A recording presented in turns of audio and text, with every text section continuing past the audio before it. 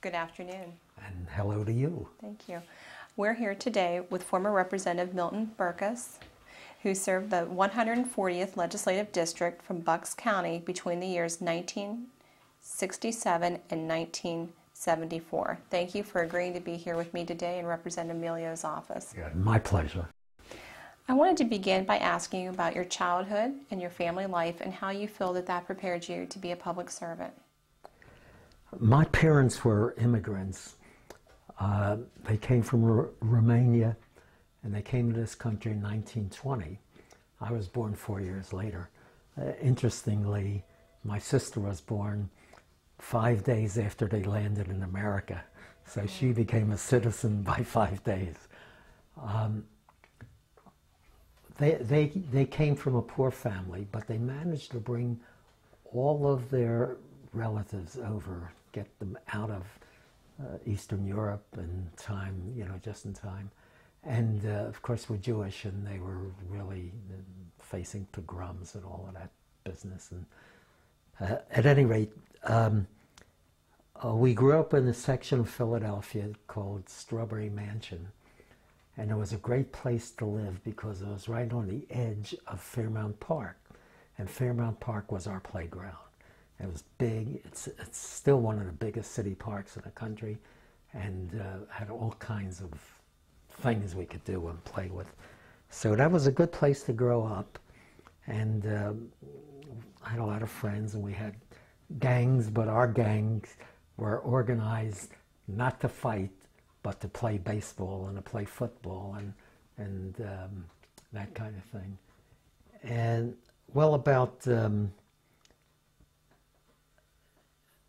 uh, when I gra- well, I, when I graduated, I went to uh, elementary schools down in that area, and then I went uh, to high school. It was Central High School, which was the premium school for for high school academically, but we had 9A and 9B, and I was there for 9A, and then they moved.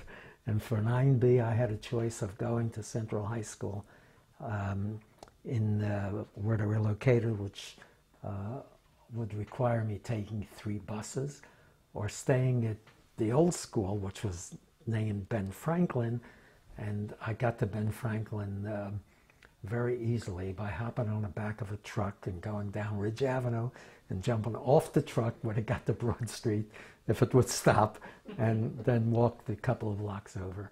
So it was uh, really a question. We were still a poor family, and, uh, and I didn't go to Central because I couldn't afford the, that. At any rate, uh, I graduated Benj- Benjamin Franklin in 1943, January, and two months two months uh, later, I was drafted and I was off to the war.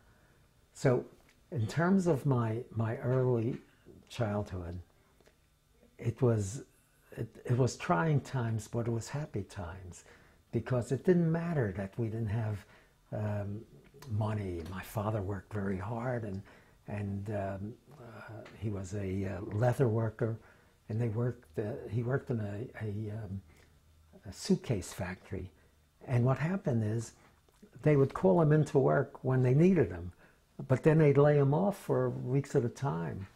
And of course, it was a the, time of the um, Depression, which was 1929. Uh, I was five years old, and uh, going on till Roosevelt was elected in 32, and and beyond. And um, I remember my father selling uh, apples on the street in Market Street, and he would walk all the way from our house, which was about five miles, to a spot on Market Street and put his apples out on the stand and sell them.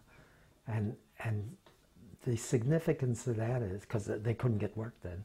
The significance of that is that one day he had his apples piled up at home, and I was hungry, and I grabbed an apple without telling him, and he got so angry at me but my mother defended me, and and uh, in their way, um, I learned a lesson there.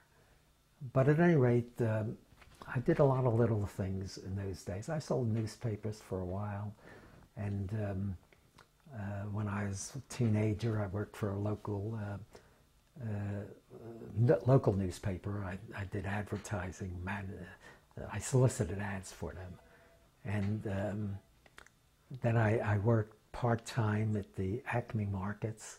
And that was the last. No, and, and, and, after I graduated high school, I worked at Acme all through uh, my high school.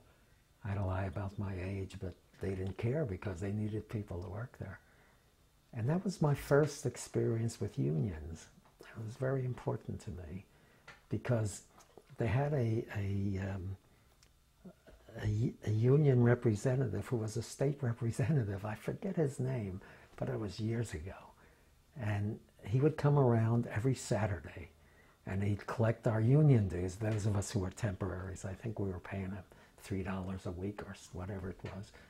But that's when I first um, had contact with unions.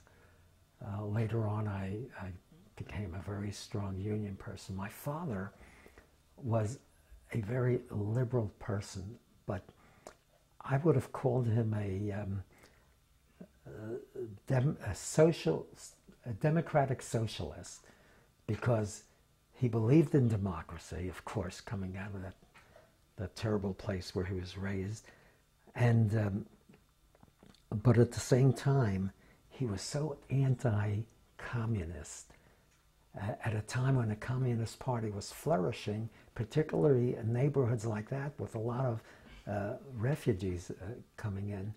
And uh, the neighborhood at that time was all Jewish.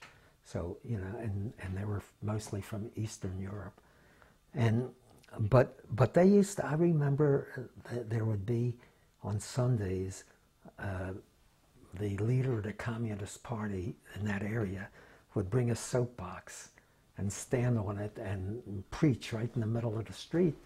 And everybody would gather there, and my father would throw fruit at him, and, and, and they got into that kind of thing. Because his experience in Europe was, his last experience was with the, the Russian Revolution. He lived on the border of Russia and, and always told a story about in World War One, he would first serve in the Romanian army, and then the Russians would grab him, and he'd serve in the Russian army, and, and was just a bridge between Russia and Romania. So um, he always told that story, and he hated them. He called them Bolsheviks, uh, but he was socially uh, progressive, and um, uh, I guess I've got my liberalism uh, from him. And um, at any rate, my mother grew up um, also um, uh, helped the, with that. She never went to school. Never went to school at any anywhere in, in Europe.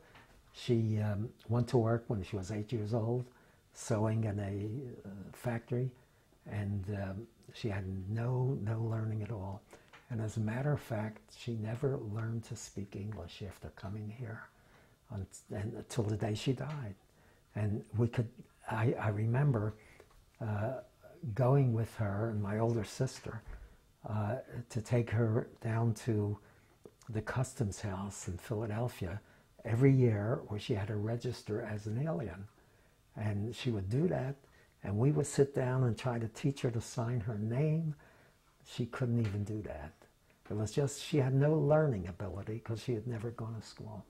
So she lived her life without ever going to a movie, except when there was a, an occasional Yiddish picture, and uh, uh, she loved that, and she'd go to see that, or, or play, uh, which was more of in those days.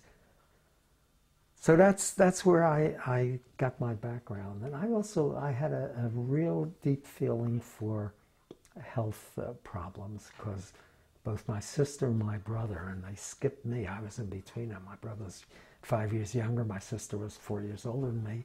Somehow the genes jumped over me. Uh, they both had mul uh, muscular dystrophy. Uh, my brother had it very serious and very early, and it was a rare form. And he also had club feet, and he was sick all his life, and he's in the hospitals all the time. And um, uh, my sister had a minor form of muscular dystrophy, and she lived to be 83, 84. Um, and but but in her later years, her 70s, it, it, really affected her quite a bit. So that's where I got my commitment for for the health system, and my commitment to education I got by going to to school and and, and a tough neighborhood and a, and a tough place and knowing the difference between getting a good edu education and not. Now, the other thing that happened that, that's important is at first when I went to high school, I took the academic course. And that was fine. But then it was obvious that I'd never go to college. Uh, my parents didn't, you know, no way they could ever send me to college.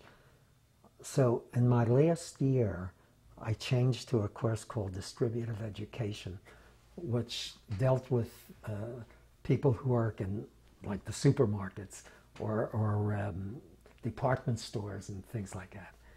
And it, was, it was fun. I was a fair student. I, I got good grades, but never all A's. I'd get some A's and some B's and some C's. But when I switched to distributive education, which was an easy course, I got all A's.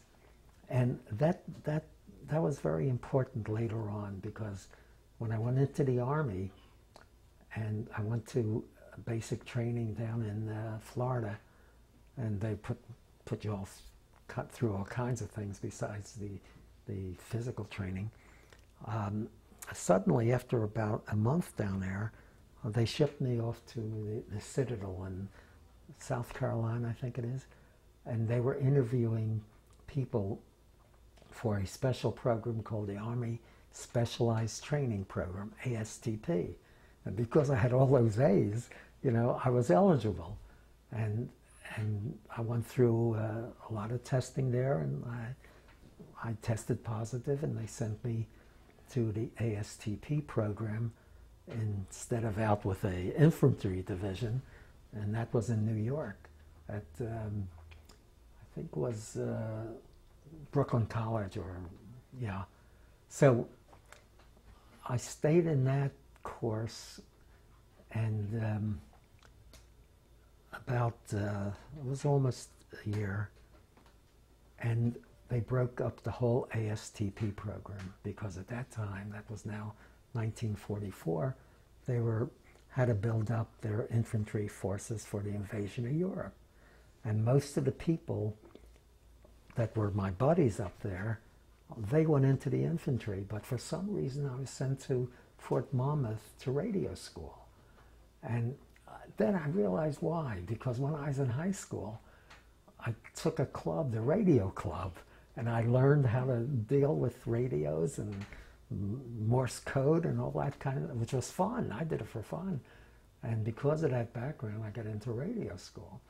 So I, I I uh, learned, uh, trained on field radios and um, um, uh, all of that kind of stuff. And then they sent me back to New York to learn how to operate submarine cables. These were these transoceanic cables where they communicated, you know, uh, from across the ocean. And I learned that, and um, uh, after that was done, uh, we shipped out to the South Pacific. Now, uh, do you want me to get into that now? Because that's an important part of my background. Um, the first place we stopped in, incidentally, when I got on the ship and uh, we went cross country by train.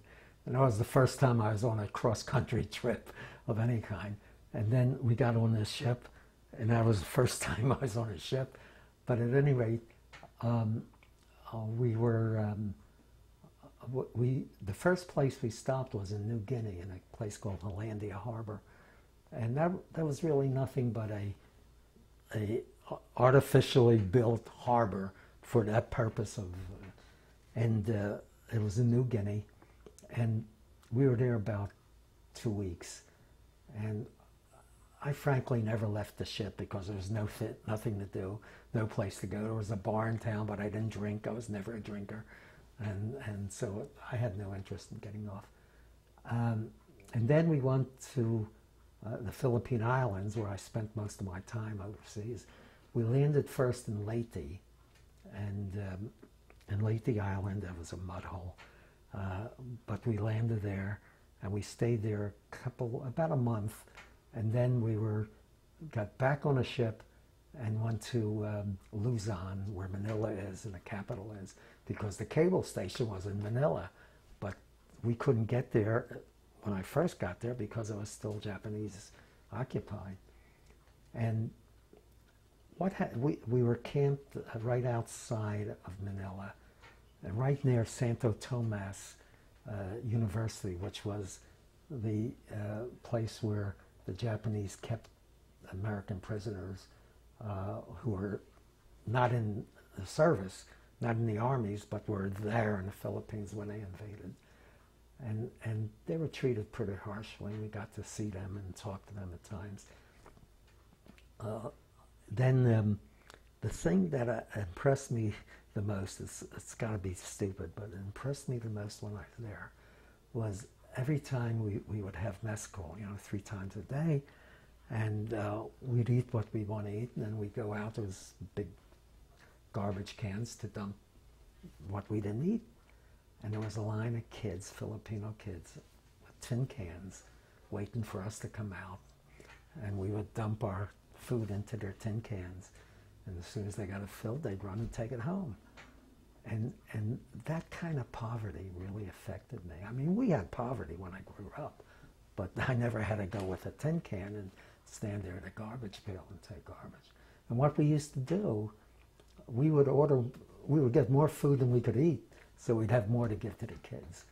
And they came back later and would do errands for us and shine our shoes and things like that. And, and the young girls would come and they'd do our laundry. And so we had that kind of relationship with them. But when we went to look at the cable station, the Japs had blown it up. And there was nothing there. So we had to rebuild it. So while waiting to rebuild that that station, we had to wait for material to come from the States.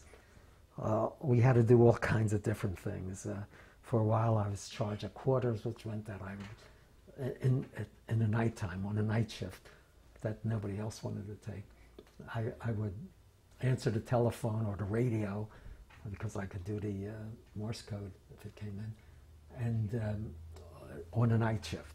So that was a while. And then one day they needed uh, some guys to go uh, guard a farmhouse.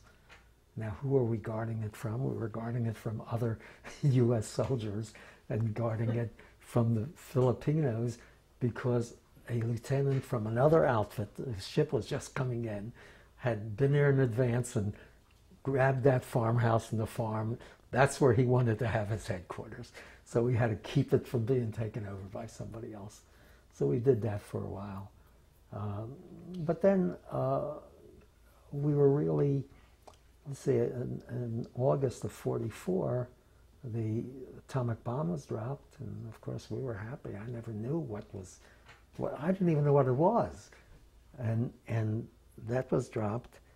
And uh, the reason we were happy is because they were taking guys like us that, that weren't doing anything and retraining them to be infantry for the invasion of Japan. And, and we'd gone through some of that training, it was just the beginning of it.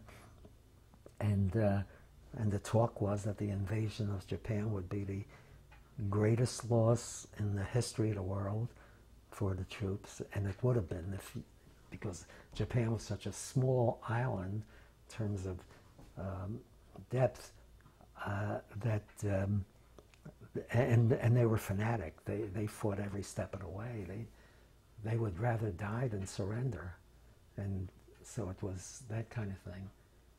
But then the war ended, and we were shipped to Japan anyhow in the uh, occupation, and um, uh, we never did get to know Japanese because the Japanese people because they were afraid of us.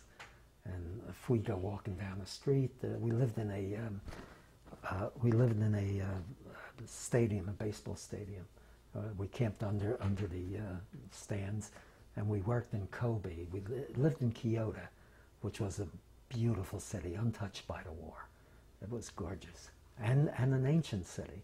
Uh, and we, we every morning were transported to Kobe, where the Sixth Army headquarters uh, was uh, for the southern part of Japan, and we'd work in the communications room.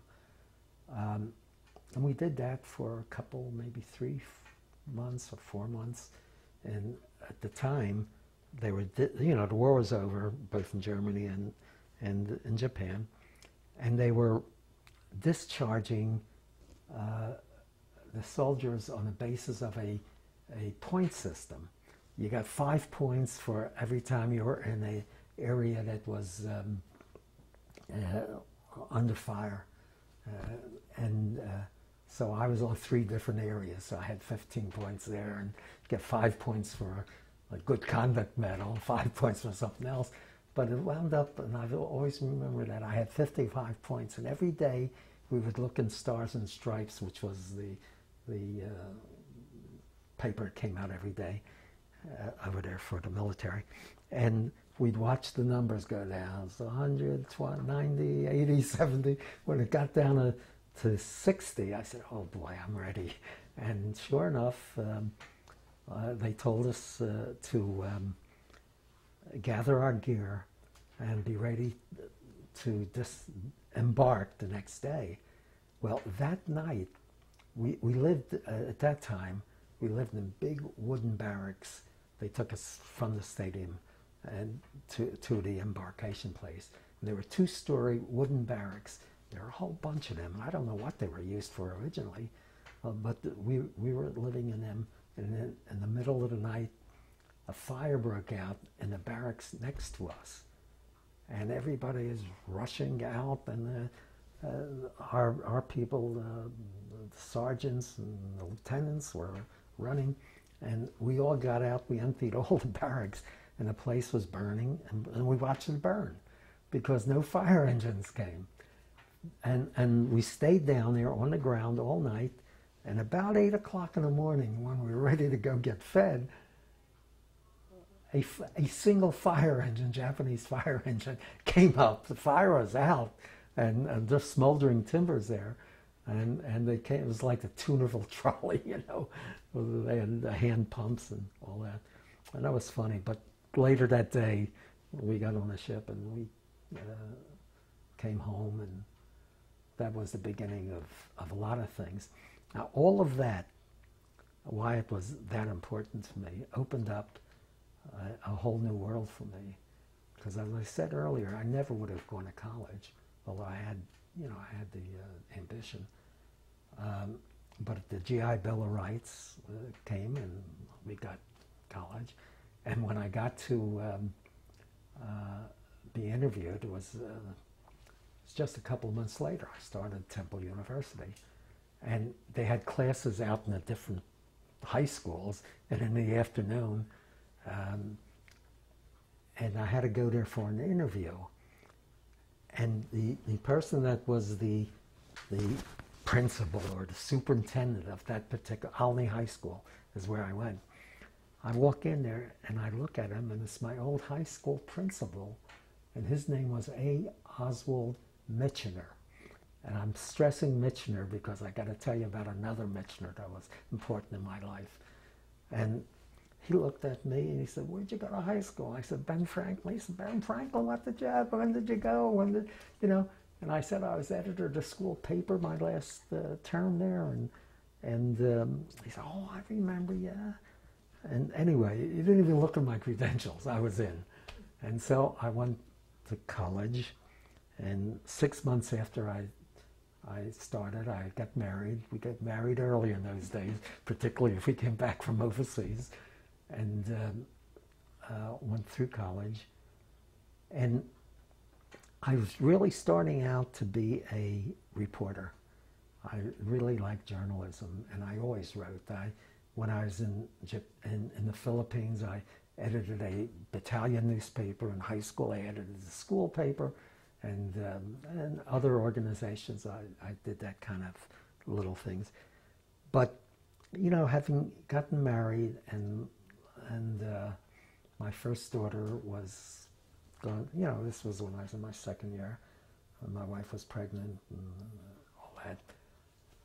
So I um, had to find a way to get out of college and start making a living. So I transferred to Teachers College, became a teacher, I got a job right away, uh, 1949. I also I had got got a master's degree. It took me another three years.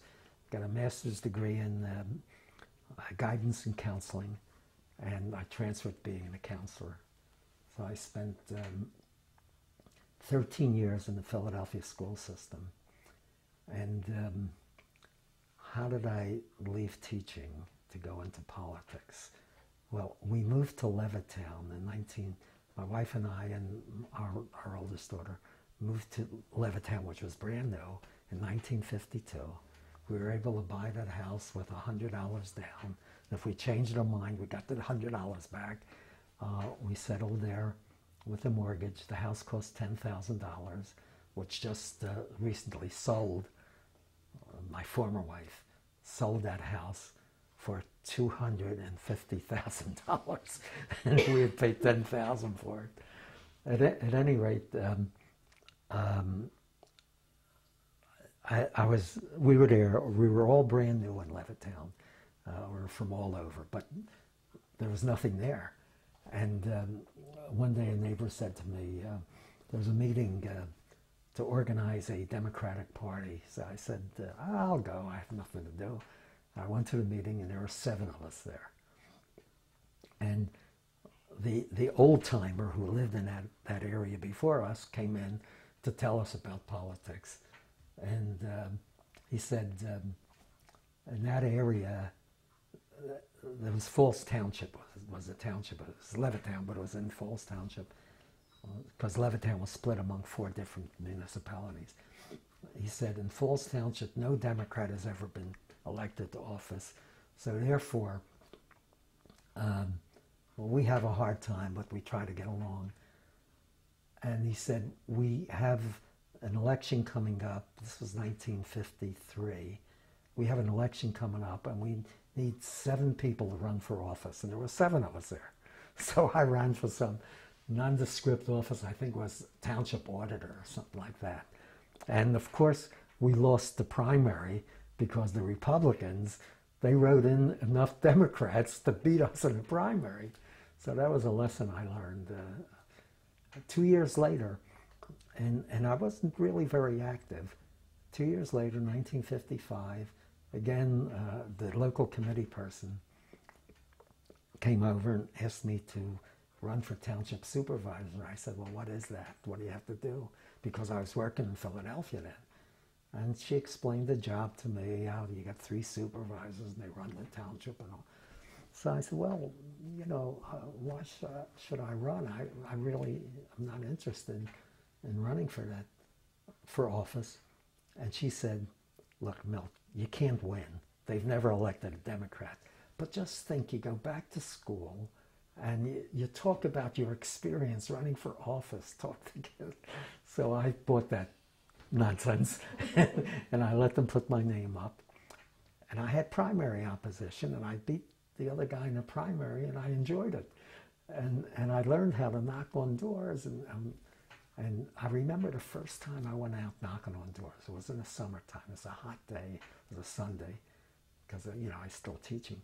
And um, I go to Fairless Hills where the steelworkers were living. I figured I better start there because they're Democrats. And they were brand new too. And I knock on the door. The screen door is closed, but the front door is open. And the guy yells, come in. I say, hey, I'm politicking. I'm, I'm coming here to ask for your vote. He said, come on in. And he's sitting there in his shorts, undershorts, no shirt on, watching a ball game. And he's got a, a, a can of beer. And he says, have a beer. Well, I didn't drink beer or anything else. But I figured if he offers me beer, I got to take it. I, okay. And I take it and I sip the beer. And, and we talk in politics. And he said, oh, I'll vote for you, Berkes, because uh, you came here. So I went next door. Same thing happens. I had to have another beer. By the third place, I was drunk. I had to quit. So I learned my lesson about that, and I learned how you can take a sip and just hide the rest of the can. But at, at any rate, I won the primary, and, and uh, I won the, the general election, and I was the first Democrat ever elected in that township. And and it was by knocking on doors and talking to people. I didn't spend didn't know how to raise money, so I didn't spend much money, and we didn't do much. You didn't do any television in those days. And those that raised money put ads in the newspaper, but we never did that. So it was just knocking on doors and talking to people, and the fact that the steel workers are now moving in because U.S. Steel had just opened a big plant in our township. So they were all Democrats, and uh, they were just moving in, and, and I won. So I became a township supervisor. There were two Republicans, and my, I was the Democrat. And so they thought, uh, they were thinking, this uppity young smart guy just moved there, doesn't know anything, but he's got a big mouth and he's talking too much. And what can we do to control him? This was my conjecture. and, and they said, let's make him secretary because that pays, see, supervisor pays nothing, not even expenses. But secretary, they pay a little bit uh, because they have to write the notes and get them printed and all that. So they said, um, we'd like you to be secretary. And I said, well, what do I have to do? I said, first thing they said, well, you get $600 a year. And, and then they told me what I have to do. I said, you know, I'll take that job, but I want 1200 And they said they would have given me anything I wanted because I thought that would shut me up because I'd be busy writing the minutes. But it didn't shut me up. And two years later, we elected a second Democrat and we became uh, in control. And I became chairman of the board, which in effect was mayor. And uh, then two years after that, we elected another Democrat. And then we changed the law to we were allowed to change our, our township into having five supervisors instead of three. And we elected two more, and we had five supervisors. And that was real, really my beginning in, in politics. I kept teaching until 1962. In 61, uh, let me backtrack a minute. 1960, um, of course, I was a supervisor, and I was in my, uh, I was finishing up my first term. There were six-year terms, and um, uh, Kennedy was running for president, and Kennedy had a uh, big rally in Levittown, and I was feuding, as we always do, us young guys. They called us the Young Turks. We were feuding with the county chairman, who was, you know, from Doylestown, the other end of the county, and and um, he was so mad at us that he wouldn't let any of us on the platform.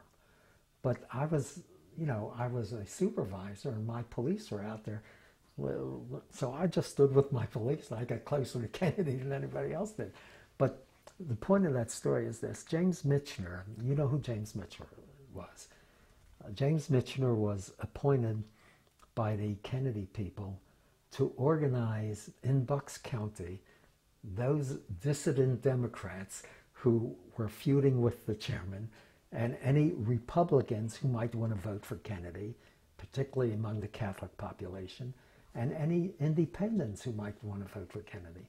So he organized a group, uh, um, I don't know, he called it Independence or something like that, uh, for Kennedy. And he talked to me one day, and I got to tell you how this happened. Um, he his closest friend in Bucks County was a man named Herman Silverman. Herman was the founder and president of Sylvan Pools, which was a nationwide pool company. Herman and I grew up together in Strawberry Mansion. He lived next door to me. His brother Izzy, who then became Ira when he made money, his brother Izzy was one of my closest friends. And and Herman was a couple years older than me, and um, but Herman from Strawberry Mansion went to school in Doylestown National Farm School, and he opened a, a business doing uh, uh, landscaping, and then he went into the pool business, and he he jumped and he, he built that business up so big, and by by some coincidence Michener and he became great friends. Uh, now Michener was wor working in New, New York then at the publishing company. He was an editor, but he would visit Bucks County every weekend because he grew up there, and, and his two aunts still lived there. And, and um, he got to the point where uh, he met Herman and they become good friends. And every time he'd come to Bucks County, he'd sleep at Herman's house.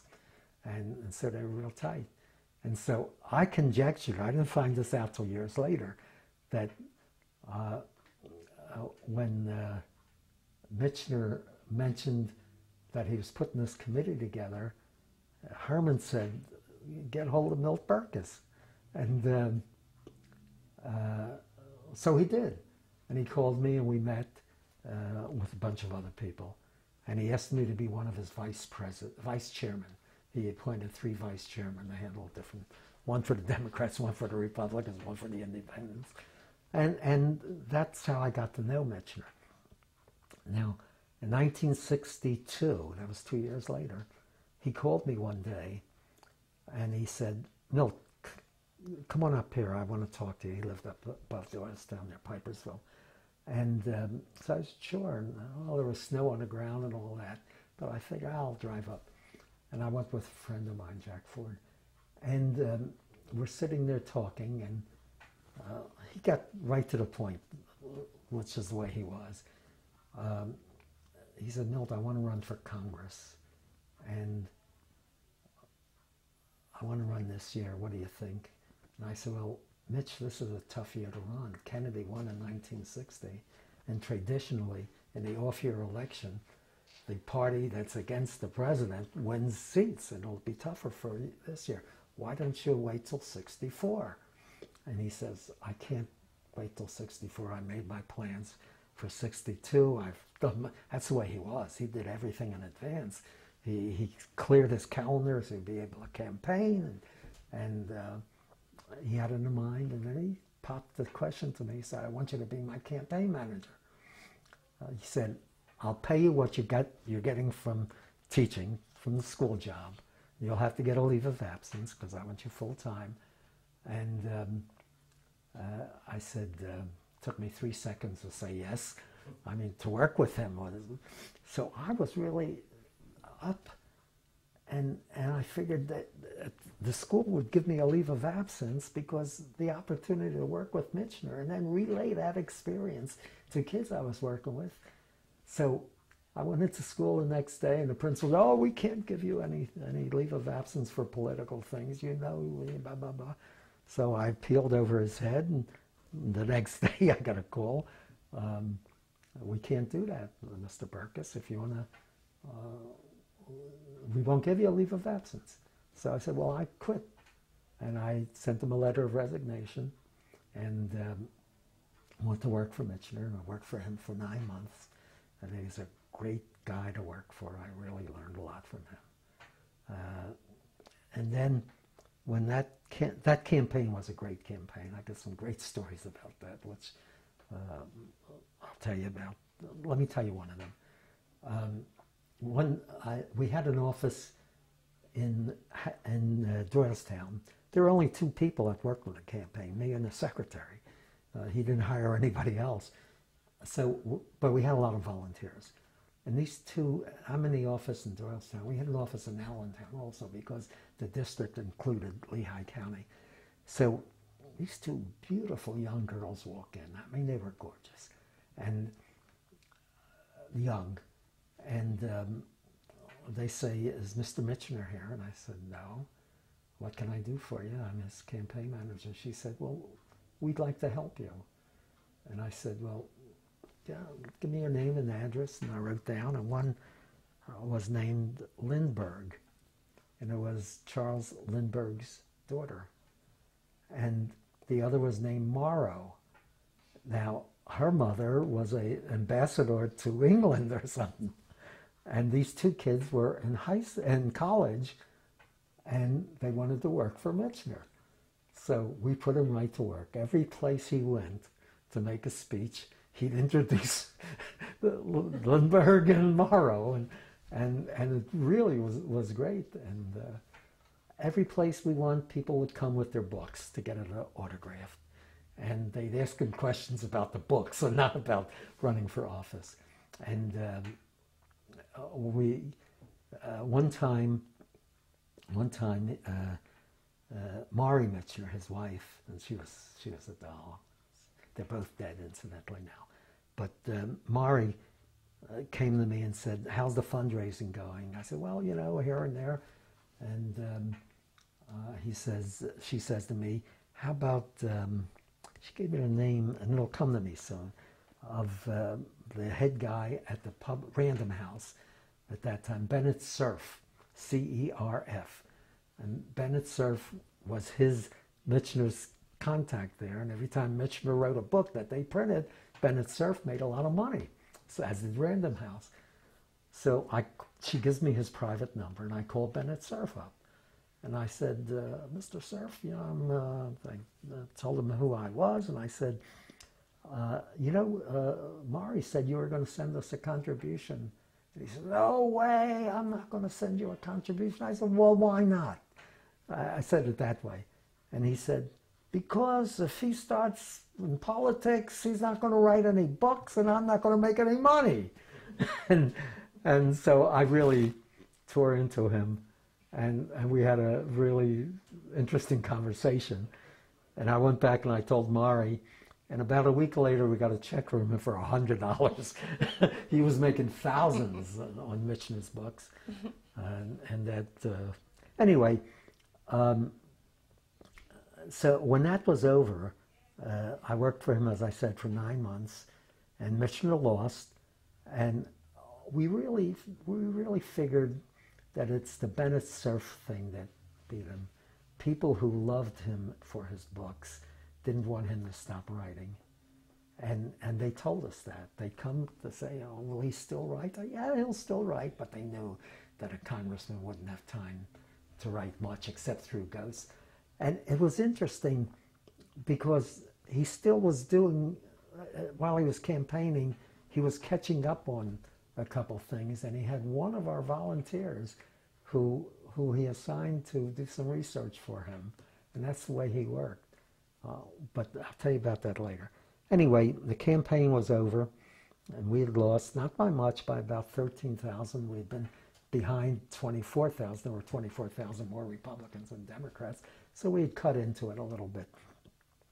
And um, in 1961, my term came up let me see, uh, yeah, 61, I'd already been reelected uh, to township supervisor. I still had six years to go. So I went back down to the school system and I applied to be reinstated. Well, they offered me a job. as a counselor then uh, in another school, which was okay. I would go any place. But um, I would have to start at a beginner's salary. And just for a year, I would, I would get the beginners. So I said, well, I'm not going to do that. And they said, well, we have to punish you for quitting. so I said, well, I don't have to come back. And I didn't. And, and so I, I just never went back to teaching except for a short period of time when I taught at Temple University. And that was a different thing. I was an adjunct instructor there for five years. But at any rate, um, I had to find something to do. And uh, a local real estate uh, broker offered me a job and I would work for him. And just, and I really wasn't up to doing that because I was going to be dealing with them. They were developing and, and I didn't want to get into that. And I had another uh, uh, six years to go, or five years to go as township supervisor. Was four, actually four years to go. But um, suddenly our, our acting township manager died. And the other members of the board, the other four, came to me and said, Milt, why don't you take that job? And I said, well, the law says that you can't be a township manager with that title and be a township supervisor. And so then we started kicking that around, and they said, somebody said, real smart, well, we'll appoint you as township administrator. And that worked. It was all the duties of the township manager, but I wasn't called a manager. I was called the administrator, and so I became the township administrator until, um, and, and, that was a good job. I loved that. But until um, uh, 1966, when the reapportionment created the legislative district. And, and I ran for, I said, this is my seat.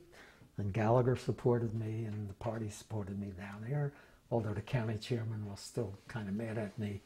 And, um, oh, oh, wait a minute, we had made up with the county chairman. Uh, what happened was he was uh, indicted for, um, for, for macing, M-A-C-I-N-G, that's hitting workers, employees for contributions. And he was uh, hitting um, uh, state workers who worked for highway department uh, for contributions to, uh, he, was, he had been county commissioner uh, for contributions to the party. And so they, they found out about it and they indicted him. And it didn't hurt that the district attorney was also the Republican county chairman. And you see, that kind of politics got into it. And he went through a whole week. I was up there every day of the week. And Michener was there every day. And we brought in um, uh, a guy from Pittsburgh that was running for a governor. And he came there to testify. And for uh, Michener came and testified. And, and I would have testified, uh, but they, they never called me. But we supported him. At the end of the week, um, he was acquitted and um, uh, but he was really bitter, and it was um, uh, the following year. That was uh, 1963. That was in uh, early '63, and that year uh, we were running county commissioner candidates, and the people who were running the party with Johnny Welsh was the county chairman who later became a good friend of mine. But the people that were running the party came up with the idea that we ought to run two new young people who are in township office and who are bright and, and who can do things. And um, uh, they, they pushed uh, for me and, and Walter Farley, who was the supervisor in Middletown, uh, to go on the ticket. Well, Welsh didn't want either of us, but he finally accepted Farley, but he said, ah, that, Berkes, that, blah, blah. Anyway, we were in the meeting, and, and they would, they cornered Welsh, the, the other people that run the party, said, you got to get over it, blah, blah, blah. And, and uh, uh, he said, well, I don't know that much about him. And then they, they took out Michener's book. Michener wrote a book after the Kennedy campaign. He called it Report of the County Chairman he was county chairman of this group that he started, this independent organization. And on one page of that book, I should have brought it with me and showed it to you. Uh, he wrote, uh, he was had this meeting with all these people, and this bright young man with the quickest mind I ever met, named Milton Berkes, a young school teacher out of Philadelphia, he got up and he made such great, you know, anyway. So from then on, I want to tell you that every time I ran for office, I used, and this is what James Michener said about me. That's on page 142 of the book. Go look at it. But, but at, at any rate, we got to this um, uh, 63, and so they finally convinced him. They, they showed him what Michener said, and they convinced him to support me for county, county commissioner. And so the two of us ran, and we were close friends and we ran closely together, and I lost by 500 votes. So that was my first loss, and only loss. Uh, so I, I, went back to being township administrator, and then the the state rep job opened up, and I said that's my job. Uh, I had gotten, and Welsh had a uh, did a um, he had a habit when a person ran for county office, and they knew he couldn't win they would um, give him something, uh, some other job. So he got me elected as a delegate to the Democratic National Convention in 1964 in Atlantic City, which was the first convention I ever went to. Subsequently, I went to six conventions, and I loved them. That was fun. But at any rate, I ran for the uh, for the, the, state house, won the primary easily. Um, in the general, I had a lawyer running against me. Um, a really nice guy. He called me up one day, Milt, I want to talk to you.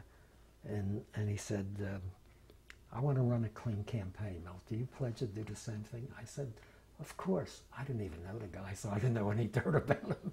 I said, of course. You want to clean? I'll be clean. We'll run a clean. Let's see how it goes. He was afraid because he had a girlfriend. you know, you know that always comes up. And but I didn't know about it. No, I wouldn't have used it anyhow. It was ridiculous, because in those days it was different from these days. These days they use everything. So anyway, I beat him by 2,700 votes, and that was a good, solid victory. Um, and that was my first election to the state house. The next election, I lost. I won by 500. The following election, I won by 1,000. The next election, I won by 270. And at that point, I said, you know, maybe I better do something else. But um, uh, I want to talk later about my, my time in the House, but finish out my career business. Um, Milton Shapp was running for, for governor, and he ran twice in the primaries. Bob Casey um, was the endorsed candidate. I was elected county chairman in 1968, and so as county chairman, I supported Casey, although I liked Shapp and I knew him. Uh, I'd gotten acquainted with him at the 64 convention, and, um, and I knew him well. And he called me up one day and, and said, I understand, Milt, that, that you've got to support uh, Casey, but take it easy on me. so I said, don't worry, Milt.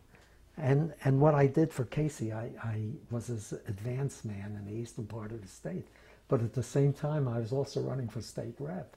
And he said to me at the end of the primary, in fact, it was the last dinner before the primary, he was in Doylestown, he said to me when he offered me this job, being his advance man for the whole state, I said, I can't do that because I'm running. He said, I thought about that. And he said, I'll come into your district five times during the campaign. Five times, and we'll get big crowds because he thought he was going to win the primary. And, and so I said, okay, I'll do it. But he lost the primary. Shapp beat him. And then that was 66, I guess. And Shapp lost the general election to uh, Ray Shafer, uh, the Republican. And then in 70, it was the same thing. Shapp filed and Casey filed. Casey was endorsed. I supported Casey. Shapp won again. And, um, uh, but, you know, I sent him congratulations. And I was um, uh, still uh, very close to him. And um, so up to 70, 74, and Shapp was now serving his second, uh, was, was, no, no, he, in 78, he was elected to a second term. 78, no, I got my 70, it must have been 76. So, it may have been 74. Anyway, whatever. When he was elected to a second term, uh, and I had worked for him after the pr uh, primary, and I really hustled, and we won big in Bucks County, 12 by 12,000 votes. It's still a Republican county. And um, I saw him on a campaign trail, and he said to me, uh, Milt, what are you going to do? And, and I had already said that I'm not going to run for reelection. But he offered me a job. He said, I want you in the administration. And I said, well, that's great. Uh, you know, I'd love to do that. And by doing that, I, you know, uh, so when the, uh, he was sworn in, and in February, I went before the uh, uh, Dick Duran, who was the uh, his assistant, his executive assistant, and we talked about a job. And because I had been involved in the legislature, which I want to tell you about later, but in the drug and alcohol field, he said, how about we appoint you as Deputy Secretary of Health and your duties would be to oversee legislation for the health department, mainly for drug and alcohol abuse, and the uh, uh, welfare department. You'd work with both secretaries, but you had to be housed in one of them, so we'll appoint you Deputy Secretary of Health. So I said, that's fine. What would the salary be? And he told me something. I said, no, wait a minute. I want $40,000 at that time, you know. And the, say, the other secretaries were getting that and deputies. And he said, well, we can bring in at 39.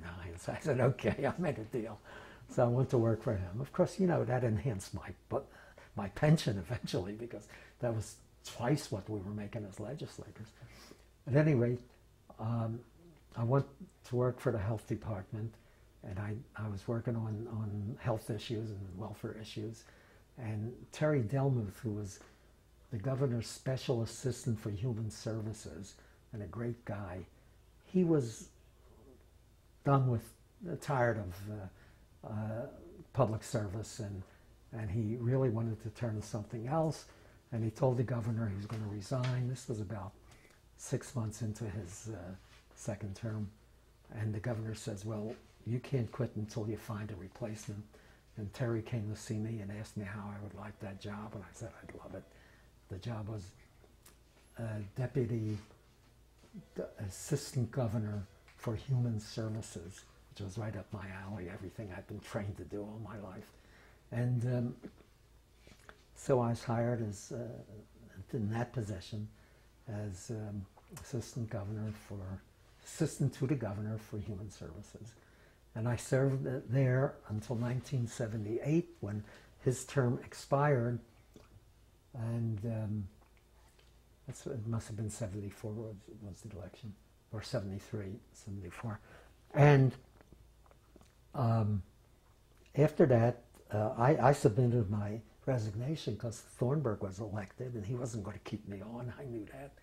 And, and I, I looked around for maybe another position in government but it was obvious that Thornburgh was going to make big changes, and, and it was only Republicans who were going to get appointed to good jobs. Uh, so one day I'm reading the Philadelphia Inquirer and I see an ad in the paper. This is funny. And the ad was for, they were looking for a executive director of a brand new social service agency that worked with inmates at a city jail system, helping them turn their lives around.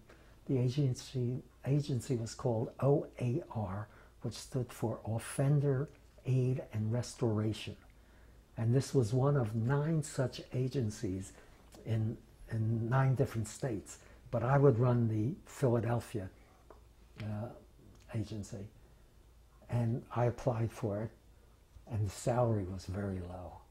But I was already drawing my, I, I mean, I was going to draw my pension. Um, I was old enough then to draw my pension. So uh, I figured I, I, don't care about the salary now because, you know, I've got a backup. Uh, so I took the job. I stayed there 18 years. It was the job I held for more than any other job I ever had.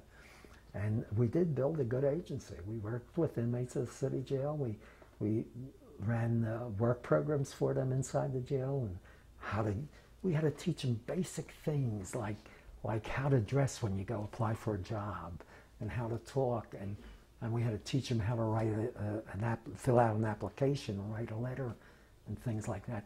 And people don't understand that most of the prisoners in the city jail system are not people that have been convicted, but they're people that can, can't make bail and they're in there because they couldn't come up with a hundred bucks for bail. So you know they're they're very you know the class of people is well, they've committed a crime, but they haven't been uh, convicted yet. And so we worked with them for 18 years, different groups, and we had a pretty good thing going. Uh, as part of that, at a time I was appointed personally, but you know because of the agency, as the um, monitor at the juvenile detention facility, which is called the Youth Study Center. Uh, and um, the juvenile defense, uh, the ju juvenile um, uh, uh institution was um, under fire for terrible conditions. And they went to court, and a, a group went to court, and they got a court order listing 40 different things that had to be done to improve and my job was to oversee those 40 things and make sure that listening to what the court said and to report back to, the, it was a federal court incidentally, to report back to the federal judge uh, each month as the progress on, on that. And I loved that. I, you know, I did that just, you know, I'd go there one or two days a week, but I was still running the agency and, and I was able to get some things done. But, you know, that was a long time ago. And even then, even then, the conditions at the Youth Study Center were horrible. And everybody talked about replacing it, tearing it down, building a new one. But nobody did anything. And, uh, and I, every time I went to the judge, I said, you got to get a new building there. So um, eventually, the, the judge died, and they came to be in compliance, and, uh, and I had a heart attack. And so I had to leave. Uh, I, I came back to the job, but um, from there it kind of went down. We still worked with inmates, but they had other programs doing it. And uh, when Rendell was elected mayor, and Rendell was a good friend of mine, he had to cut a lot of things. And we were getting $175,000 a year from the city, plus other funds which I raised. And he had to cut that program.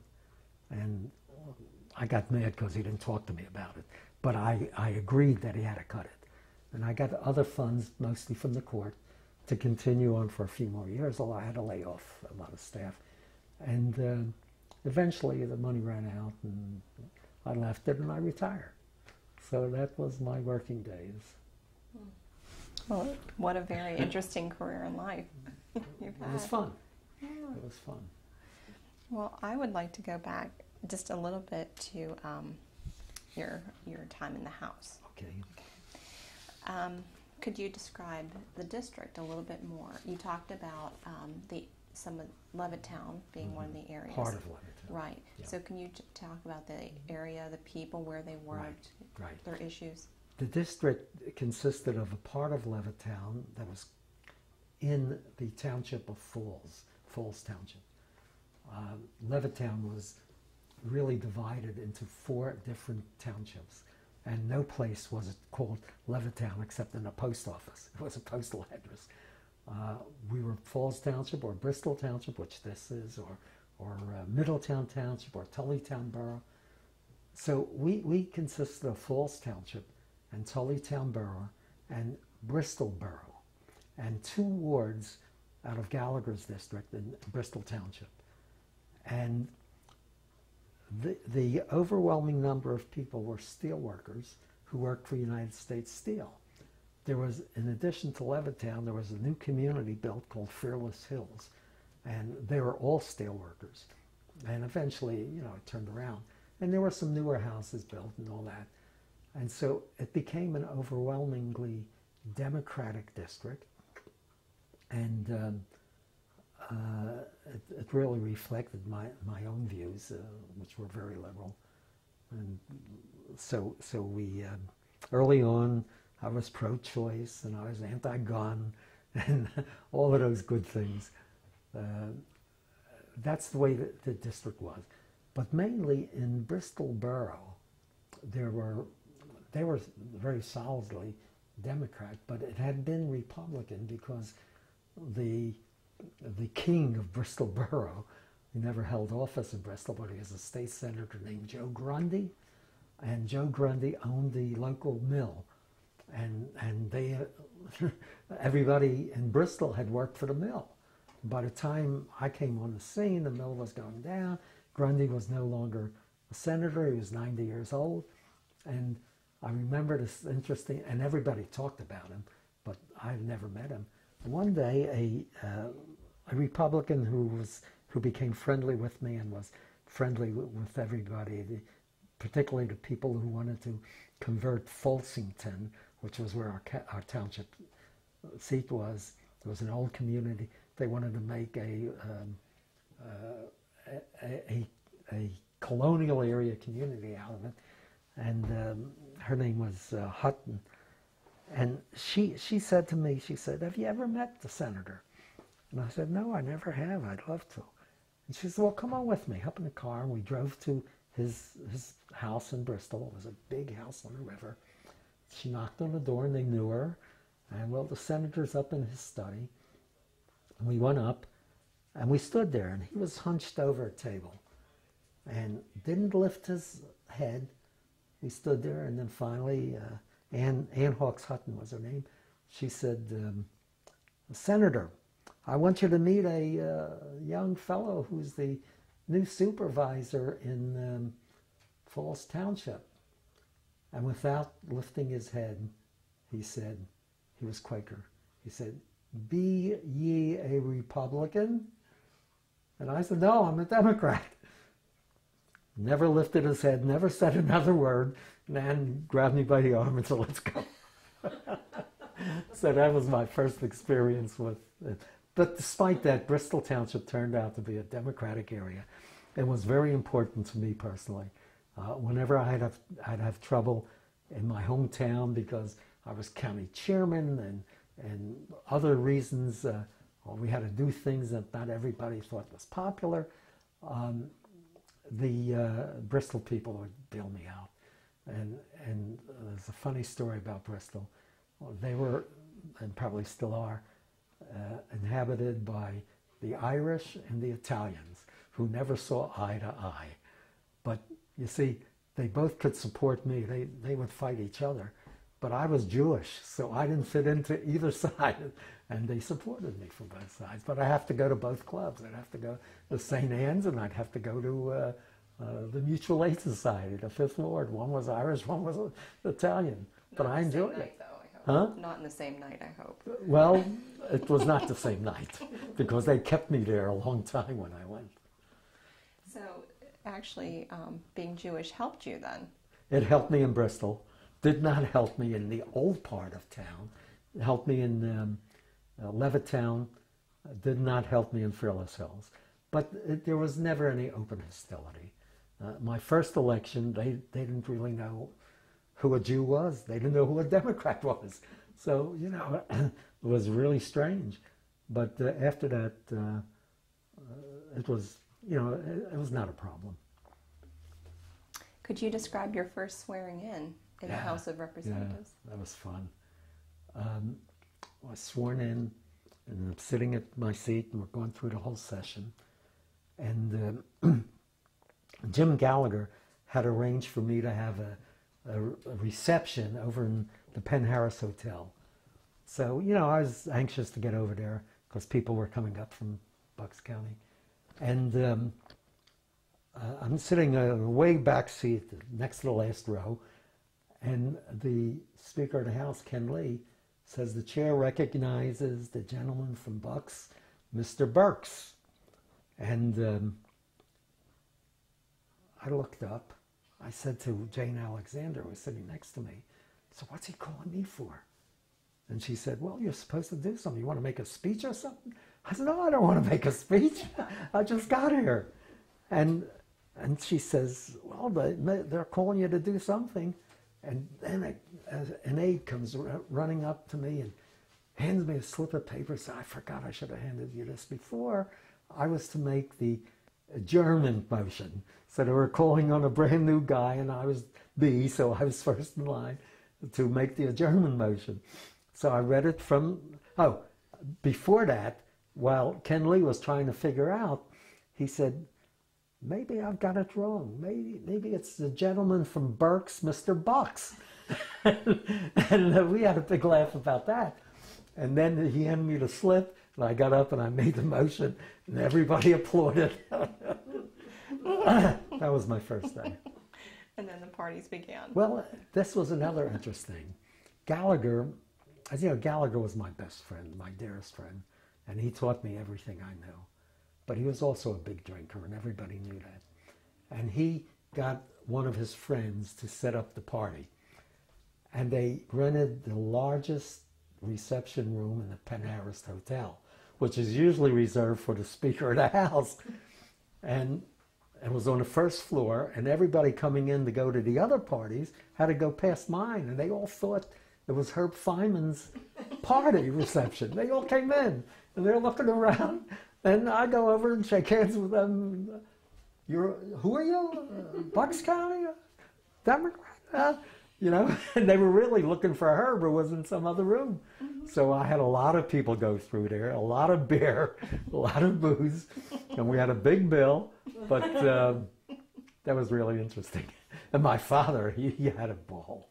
He was running around. That's my son. That's my son. So, did you have a relationship with Mr. Fineman since you've mentioned him? Fineman was very good to me. Uh, I thought he was he was the smartest guy I knew. He did more for the legislature in the years he was speaker, and before that he was uh, the majority leader, than anybody ever did. Uh, Leroy Irvis picked up on it, and so did um, Ryan, uh, and they improved everything that Herb done. But when I first went into the legislature, we didn't have an office. I said to Gallagher, well, where do I work? And he said, you work out there on the uh, floor of the house at your desk. I said, no. Well, where's the telephone? Oh, there's telephone booths there. And you go up there and uh, you wait in line and you use the telephone booth. And I said, well, how about if I want to get a letter written to my constituents? Well, you get in line at the, the secretary's pool. Well, and that's the way it was. The only people that had offices were the the um, committee chairs and the officers of each uh, each um, uh, caucus. Herb Fineman did away with that. We in our second term we all got offices, although we shared we shared secretaries, but at least we had an office to work in. And in the third term, we didn't have to share the office. We got our own. We had phones and, and whatever other equipment they had in those days. Remember, that was before the computer was really big. And um, he did all that. And Herb brought that out of the uh, old old ages and into the modern ages. And he made that a uh, really functioning legislature. And, and we also met more and um, uh, that we did more and, and and we discussed more. We had caucuses and, and discussed everything that was going on and what would be coming up on the agenda and things like that. So Herb was very good. Unfortunately, he got into trouble, which to this day, I believe was not his fault. But he took the fall for it and served 11 months at the Allenwood. That really changed his whole, you know, he never went back to public office. Although I used to meet with him when I was running my agency in Philadelphia. Uh, Jerry Kaufman, who was also an ex-legislator by that time, but was working and living in Philadelphia, although he represented a district in Pittsburgh originally. Uh, Jerry and I would call her and we'd have lunch with him every once a month or so and just discuss old times and things. But uh, in the final analysis, I suppose the trouble he got into might override everything he did, but everything he did was great. Really brought us up to modern times. And, and he was a good liberal, and he supported all the liberal causes, and he showed it. He was not afraid. He was a good leader. Well, they also call this time the era of professionalism. And um, they were moving from a part-time legislature to a full-time legislature. That's right. So you were a full-time legislator? Full-time, right from the beginning full time, and I never had another job. I, you know, we, we weren't getting paid much. Uh, after I think it was seventy five hundred a year, something like that, and no expenses. So Gallagher and I chipped in, and we we rented a small office, and and it was actually in my district, and it was close to his, and and the two of us paid for it ourselves, and we paid our telephone bill ourselves. Uh, but uh, I was a small home office. And then after that, of course, uh, it got better. Yeah. Most people had their district offices in their other businesses. Yeah, yeah, and I didn't have another, either did Gallagher.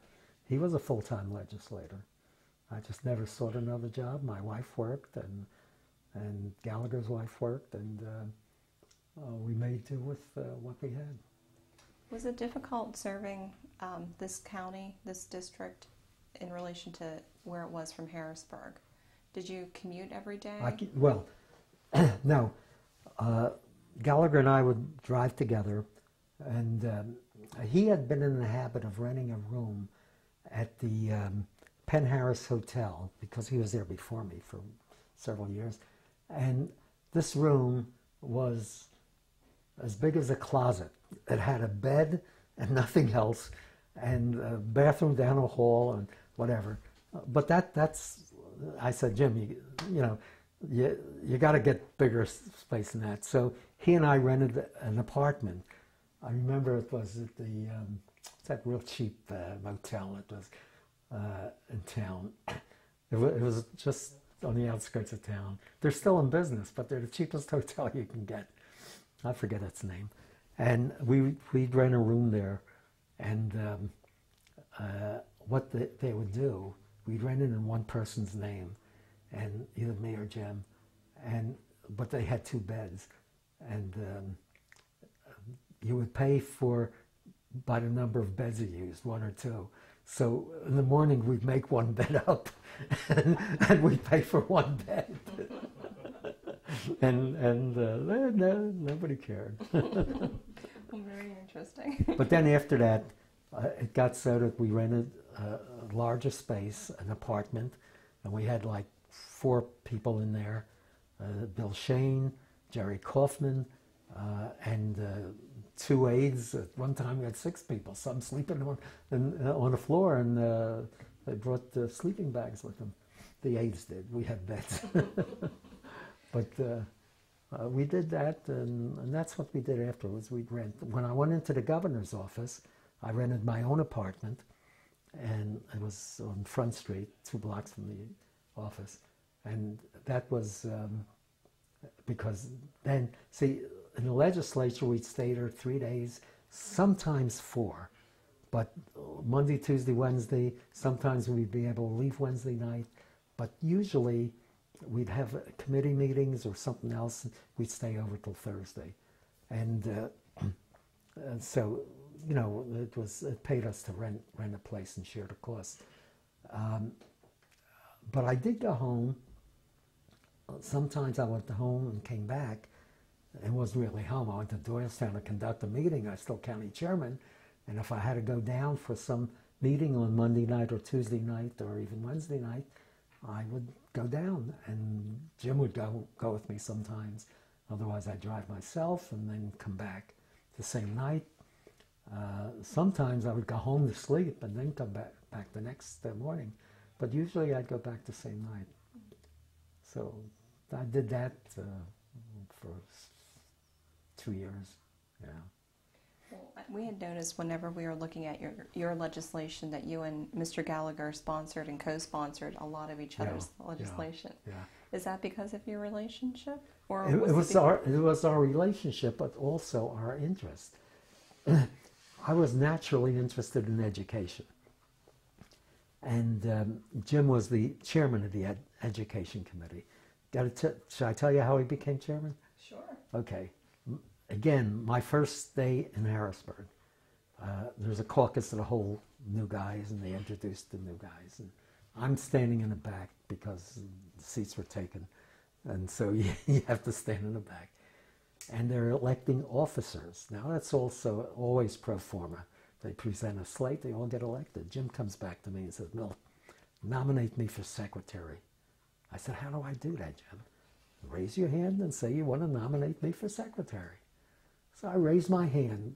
Prendergast, Jim Prendergast, was from uh, Northampton County, he was presiding because uh, the others were running for offices. So he was presiding, and they had the slate. And I said, I want to make a nomination. He said, You can't do that. I said, Well, why not? Uh, you know, democracy. And people are yelling and booing, and some are laughing they're laughing at me, this guy that just came here. And, and so I say, I want to nominate Jim Gallagher for secretary. And he bangs the gavel. I say, I can't accept that nomination. And people are screaming. And, and Joe Wargo, who was the, the designated nominee, and Joe was a nice guy, he had one leg. And, and uh, he comes hobbling over to me on his crutches. And I said, talk to Jim. He told me to do it. so, they, they got Jim, took him outside. They went in, they, they called a recess, took him outside.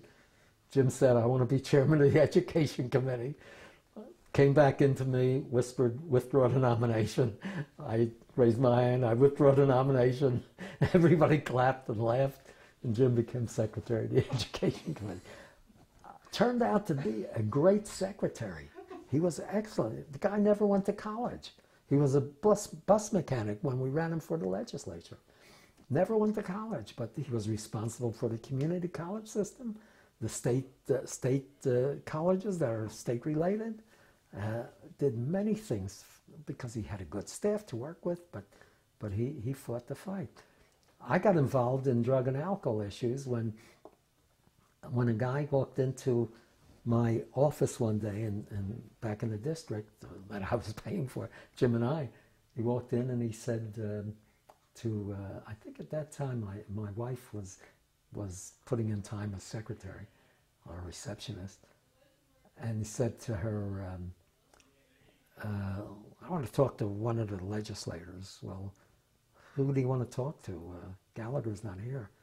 Well, who's the other guy? And she said, Berkus. Bur Berkus, Berkus. Yeah, I want to talk to him.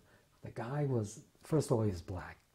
Secondly, he was dressed in such dungarees that fell off of him and dirty clothes, and his hair was all mussed up, and he had mud on his face like he was a, a um, street person.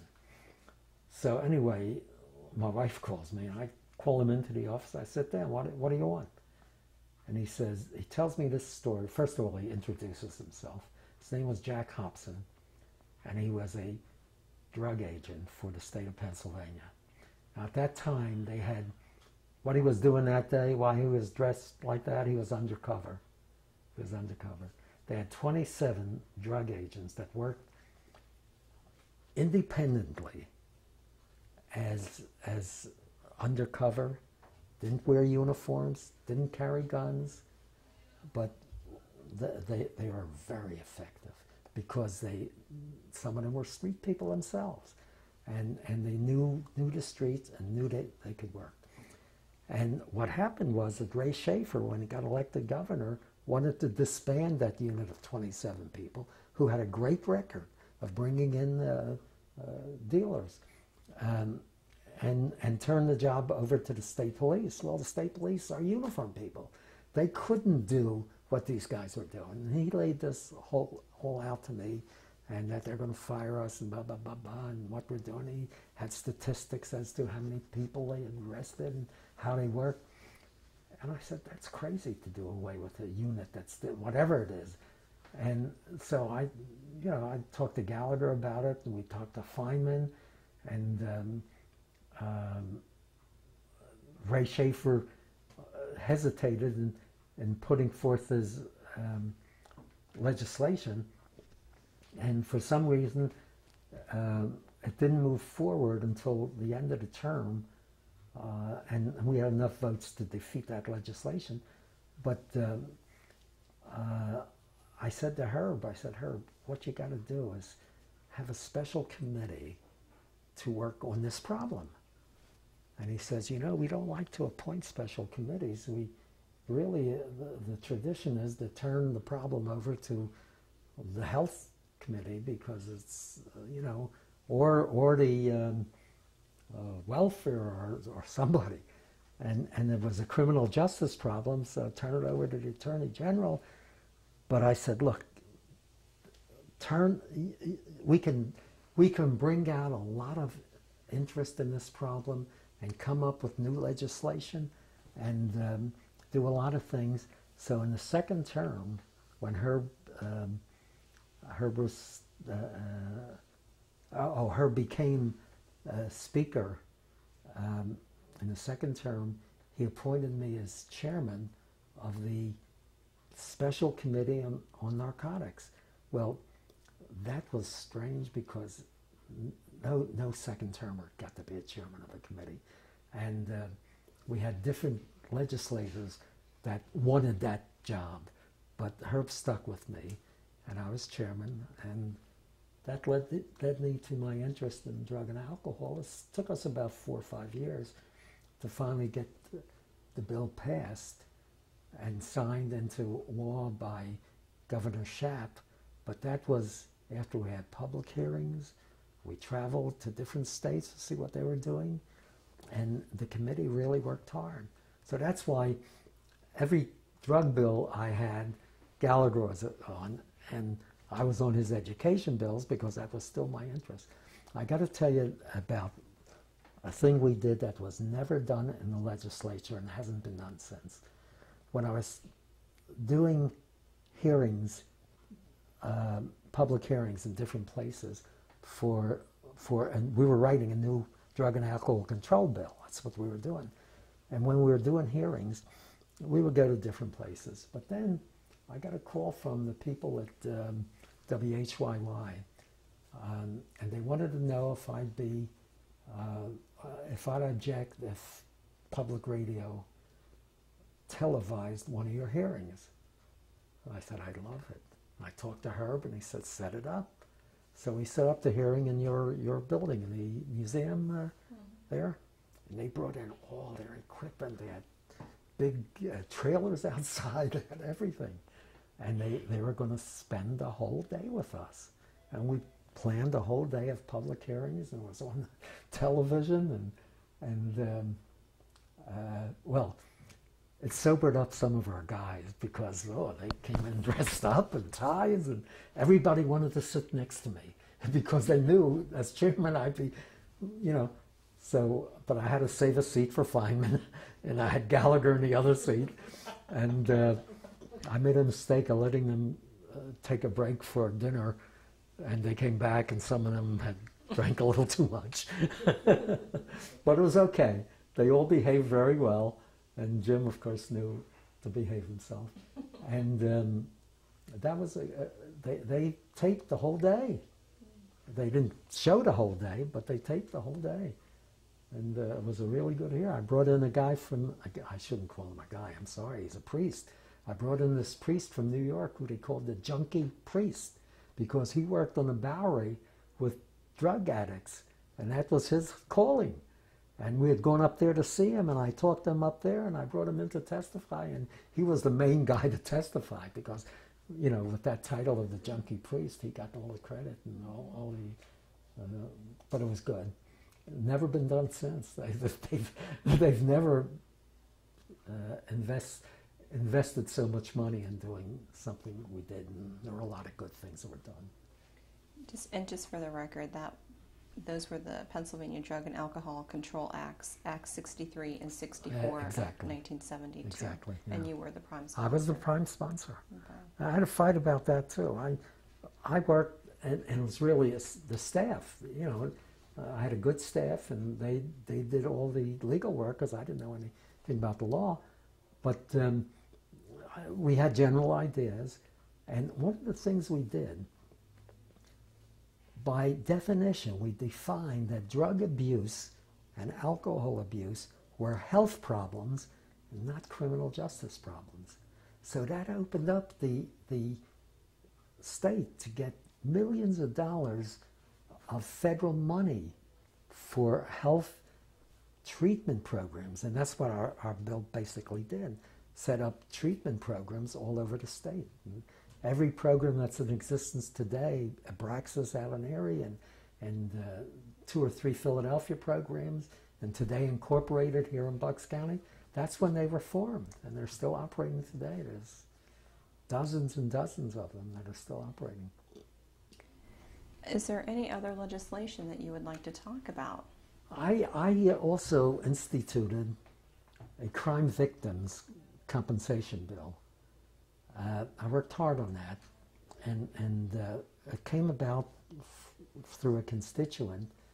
Uh, Joyce Cebular was her name. God, how I can remember that. it just came to me. I haven't been able to think of it for years. But Joyce lived in Fairless Hills, and and she was uh, accosted by a neighbor, a young neighbor, who hit her over the head with a hammer, intending to rape her. And of course, she screamed, and um, he ran. and of course he was caught. And um, Joyce had to go to the hospital, was in the hospital for months and months and months, and under treatment for years because you know she, she had a concussion and then that developed other brain problems, here, um, uh, remembering pr- memory problems, etc. This kid got uh, six months in jail and was out on the street and doing whatever it was he was doing, although he didn't get into any more trouble. Uh, anyhow, um, she came to me and I said, well, we got to do something about that. And so I, together with our staff, our lawyers, we put together the Crime Victims Compensation Act. I was the principal sponsor, and Bill Eckensberger, whose name I haven't said for a long time, he was the second sponsor to me. He was the co-sponsor. And we got the bill through, we got it up, and we couldn't, we couldn't get it reported out. The Republicans controlled the House, and they had the speaker. Was Ken Lee speaker? I don't know. Lee Donaldson may have been. No, Butera. Bob Butera was majority leader, and and he controlled the thing. So every day I would talk to him, and he said, "Oh, we're thinking about a Milt. We're thinking." Never reported the bill out because those two Democrats were principal sponsors. Came to the last day of the session, and you know what happens on the last day? They pass 150 bills, and they're running bills through back and forth, back to the Senate and back. And and I grabbed Bob Butera early. I said, Bob, you got to get this bill out for me. And Bob was a nice guy. We always got along well. He said, Milt, I'll do it. It's uh, um, uh, I'll, I'll, find out where it is, what committee. I, will tell them what committee. So it comes noon, it's not out. I said, Bob, where's the bill? Oh, yeah, I'll get it, Milt. We've got a lot to do here. Six o'clock comes, it's still not out. And they got to adjourn at 12. That's what the law says. The Constitution says they got to adjourn at 12, uh, midnight. And I come up to him again at 10 o'clock, and he says, yeah, Milt, they're supposed to bring it out. Let me see what's happening. Comes 12 o'clock, the bill never came out to be voted on. I was really mad. And um, so um, uh, the next term, I was no longer, that was my last term in there. So I was at the end of my, my term and, you know, I was out. So Bill Eckensberger took over the bill, did some changes to it, uh, some upgrades, and he he uh, put the bill through, and they passed it in the following session, which was Democratic control. And um, uh, Bill, uh, Bill became the principal sponsor of the bill as passed, but I was the principal sponsor as the bill as it was drafted, and I worked on that. And that was because of um, a constituent getting hit over the head. Constituents. Uh, I worked on, on education bills let me tell you a funny, not a funny one. It is funny in a way. Um, remember, I told you how important Bristol Borough was to me. Now, the public schools were allowed to transport non-public students, but not out of their ordinary route. They couldn't cross a street. They couldn't go anyway unless it was on their ordinary route. Well, they they were able to go uh, down to a block from Route 13, then go into Levittown streets. And they would take St. Anne's kids, um, which was in Bristol Borough, uh, to uh, that point, and they'd have to walk across Route 13, which was very dangerous. It was a, you know, two-way highway and a lot of traffic, and through a uh, uh, business district to get to the, the church.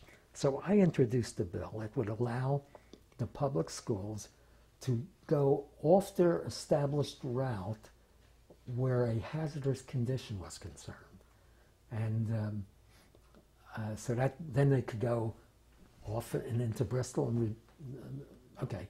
So that bill was languishing on the on the uh, uh in, in committee, and um, we were getting ready to really get it out when Marty Mullen, uh, I don't know if you remember Marty, but Marty, Marty, we called him the state representative from, from the Pope's uh, chair.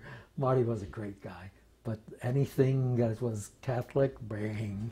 So he amended the bill to, to have public school buses bus kids within 10 miles of their home. Now, for us in Pennsbury, it meant taking kids over to Trenton to some private school. Uh, would go to the Hill School, for example. And, uh, but boy, all hell broke out from the schools. And, and I had to make a choice. Do I leave my name on that bill as principal sponsor, or do I take it off, which I could do? And I decided that Bristol Borough was too important to me, and I left my name on as the principal sponsor. And so I became principal sponsor of the bill that did more for the non-public school system, poured more money into it because then they they they did away with their buses because they could transport the kids uh, from anywhere within 10 miles. And that, so I was a hero down there. St. Anne's, they loved me. St. Michael's and Levittown, they loved me. But that was another bill that, uh, you know, that's the way things get done. It's, uh, you know, in retrospect, the school, uh, school boards are still hollering about it, but it's there. Did, did you ever get frustrated by the system? Oh, awful. always, always. Um, we're considering a bill that was on the floor for, uh, it was to come on the floor, to create a um, no-fault insurance system. That was an insurance bill. Uh, Herb Denenberg was the secretary, uh, they called him the insurance commissioner at the time. And um, um, I was very strong with the labor people, and labor was strong with the bill. And I get called into Governor Shapp's office. It was in his first term. And um, the governor says, Milt, we want you to handle that bill on the floor. I said, I don't know anything about insurance, and I didn't. I didn't even know what the bill, I mean, I, in general, I knew what it was, but, but I couldn't answer. All the lawyers there were, were against the bill. I mean, the lawyers were against it. The insurance people were afraid to speak up.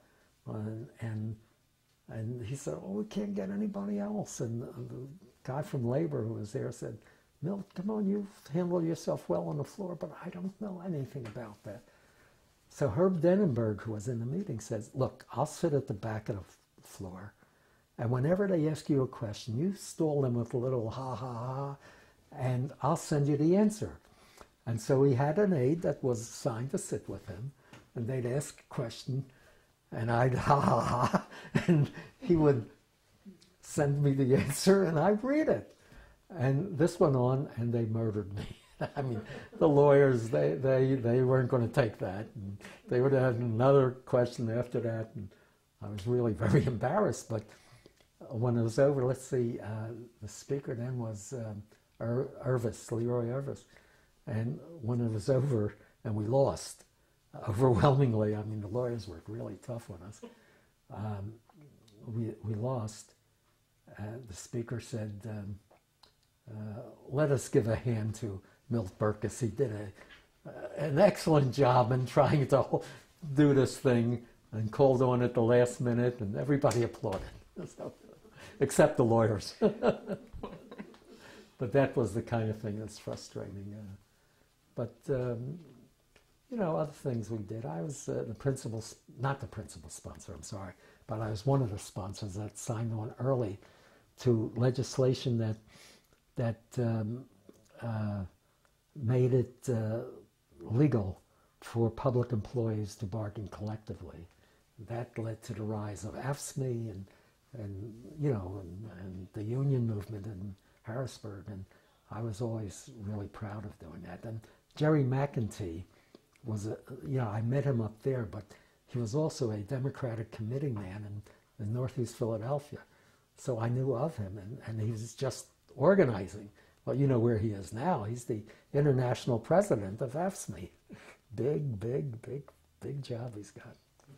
Makes uh, half a million dollars a year. but uh, he was he was coaching me on that, and, uh, that bill got through. See, I never, I never um, uh, wanted to, even if I could, go into um, uh, leadership. That is the the top officers, because I was very happy being where I was. I would have loved to have been secretary of not. I'm sorry, not secretary, but um, uh, chairman of the Health and Welfare Committee. But um, they go by seniority, and and um, Palermo, Anita Palermo, a nice lady, but anyway, a very nice lady. She claimed the job and she got it. And her, Herb told me, uh, "What you, you got to go by by uh, seniority." But I became vice chairman, so I was able to do things. And before her, Sarah Anderson had been chair, chairperson, and um, Sarah really took a liking to me and gave me a lot of things to do in the welfare committee. So, you know, without a title. But uh, with Anita, I, I had the title of vice chairman, so I was there. I would have liked to have been chairman of the committee. Did you find your committee work rewarding then? It was rewarding. I like that's where jobs. That's where things got done. On the floor, it was just a matter of voting. Uh, out there, it was was re, you know you were able to move things around to create something, to listen to outside. You know, one time I listened too much to a lobbyist. I got to tell you this quick story, if it's okay. Mm-hmm. Um, came to see me. Uh, he lobbied. I don't know who he was lobbying for, but he was lobbying against. You know, when you buy meat in a, supermarket, it's on a tray, and then it's covered by a, a cellophane or something, or plastic, but it's on a tray. Now, he wanted to do away with those trays because the supermarket managers would, when they package the meat, they'd hide the fat underneath so it doesn't show. It, it's on the underside. And so I introduced a bill to, to do away with those trays that make that they have to package them in plastic all around. In the morning, it was scheduled a scheduled floor debate, which floored me. So the morning it was scheduled for debate, I said to my secretary, Gail, I said, go run over to the supermarket and buy a tray and just, we'll take a chance that we get one that's. So she gave it to me and, and it was unwrapped. Was, I mean, it was wrapped completely and I didn't unwrap it. And I stand up to debate the issue and I hold up this tray and I said, now, just look at this. And I take off, and sure enough, there's a big blob of fat on the bottom. I was lucky. I was lucky. And everybody started to laugh. And of course, the lobby, the, the union that represented the trays, they came down on me. And, and we couldn't get it passed. They had, a, they had enough votes there to kill it. Mm. They made it a labor issue. They'd lose jobs. So. Wow. But that was a funny incident. I do need to stop and change audio batteries now. So sorry. Okay, sorry. I'm using some. Just started the loop. Are we on? We're back. Go ahead. So let me tell you another story. You know, it's uh, customary in legislatures all over to introduce a state flag, or not a state flag, but a state tree and a state flower. And, and one day uh, somebody introduced a bill naming the state dog. And yeah, we laughed. Anyway, the bill came up for a vote. It was a resolution. It came up for a vote. And um, a, a, bunch of us, when, when the speaker yelled, uh, uh, we'll do a voice vote. Ayes, ayes uh, all, all, all, in favor say aye. Well, a bunch of us jumped up and barked. and we jumped up on our seats and barked. And there was at least 40 of us that did that. and everybody laughed. But that was one of the funny things. And did the vote pass? It passed. it always does. By acclamation. You can put in a, a a resolution. I mean, you might even be able to do it today, honoring, um, let's say, uh, Raymond Rover, who's really a dog, but it might be a person for hero- heroic conduct, and it'll pass because nobody reads them. They just perfunctorily uh, pass all the resolutions. so you can pass anything there in resolutions. Non-controversial. Non-controversial. Right. Well, were there any members that you didn't see eye to eye to? Eye to eye with? I had a lot of floor uh, debates with uh, Gene Fulmer, F U L M E R. Gene was a good guy, Republican, uh, but he was really um, he was onto this uh, drug thing too, and from the, he was minority at the time, and from the minority side, uh, he would have been the principal sponsor maybe um, of something, but it wouldn't wouldn't be what we did. He would have done away with the uh, uh, the 27 guys who, who we saved, uh, and we saved them as part of the legislation. But at, at any rate, uh, Gene and I had some tough times on on the floor, and he was a tough guy, and he'd call me names. And one one time, uh, Prendergast was in the speaker's chair, and um, uh, Herb was out for something, and he was really going over the line with me, and nobody stopped him. Usually, the speaker will gavel him out of order. And Prendergast was busy talking to somebody, and nobody stopped him. But then afterwards, he came over and apologized. But uh, uh, we had some tough times. Like, it was that way. I had some tough times sometimes in, inside the caucus. Like, you know, uh, I was pro choice, uh, uh, I was uh, anti gun, all of those liberal things. I always was. And um, he. Um, uh, and and others who like um, you mentioned him before. Uh, he just retired. Bill Rieger. Bill Rieger. Bill, and I love Bill Rieger, but uh, he made his few speeches against me at times like that. Well, what aspect of your job did you enjoy the most In in the House. in the House? Well, I enjoyed working on legislation. Um, I I enjoyed to a, a lesser extent constituent service because that was very important in building up a base. But but working on legislation was really intellectually uh, rewarding, and, and I enjoyed that. I worked on a lot of bills that I didn't get uh, credit for. I might have been, you know, a, spo- a co-sponsor down among 92 others, and that was fine. Uh, you know, if I wanted to claim credit for any of them, I would say I was a co-sponsor, uh, which was true. But um, uh, if I was interested in, in, it, I, I would do what I could. I try to sign on as a co-sponsor and, and then work on it uh, if I can. But in the um, when I was a, a vice chairman of the Health uh, and Welfare Committee, I, I, worked on a lot of bills that, uh, and they were all interesting and good and, and liberal. well, what aspect did you not enjoy? Well, you know, I really enjoyed it up there. I even enjoyed when we had, oh, I loved having cross and back debates. It was just, you know, this kind of thing I liked to do, and I loved it. Um, I, you know, I, I just like being there. there. There was nothing that I can really pin down that I did not enjoy. You talked about taking some hard stances on certain issues. Mm-hmm. What do you think the hardest issue you ever had to face personally as a legislator was? I think it was gun control issues.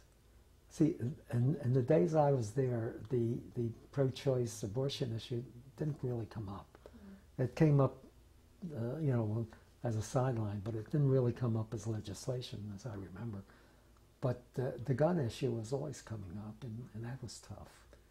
Um, there are others, you know, the, like some of the right-wing legislation that I would oppose. I can't offhand recall bills, but uh, uh, I, would oppose them and, and engage in floor debates as much as I could. I love that.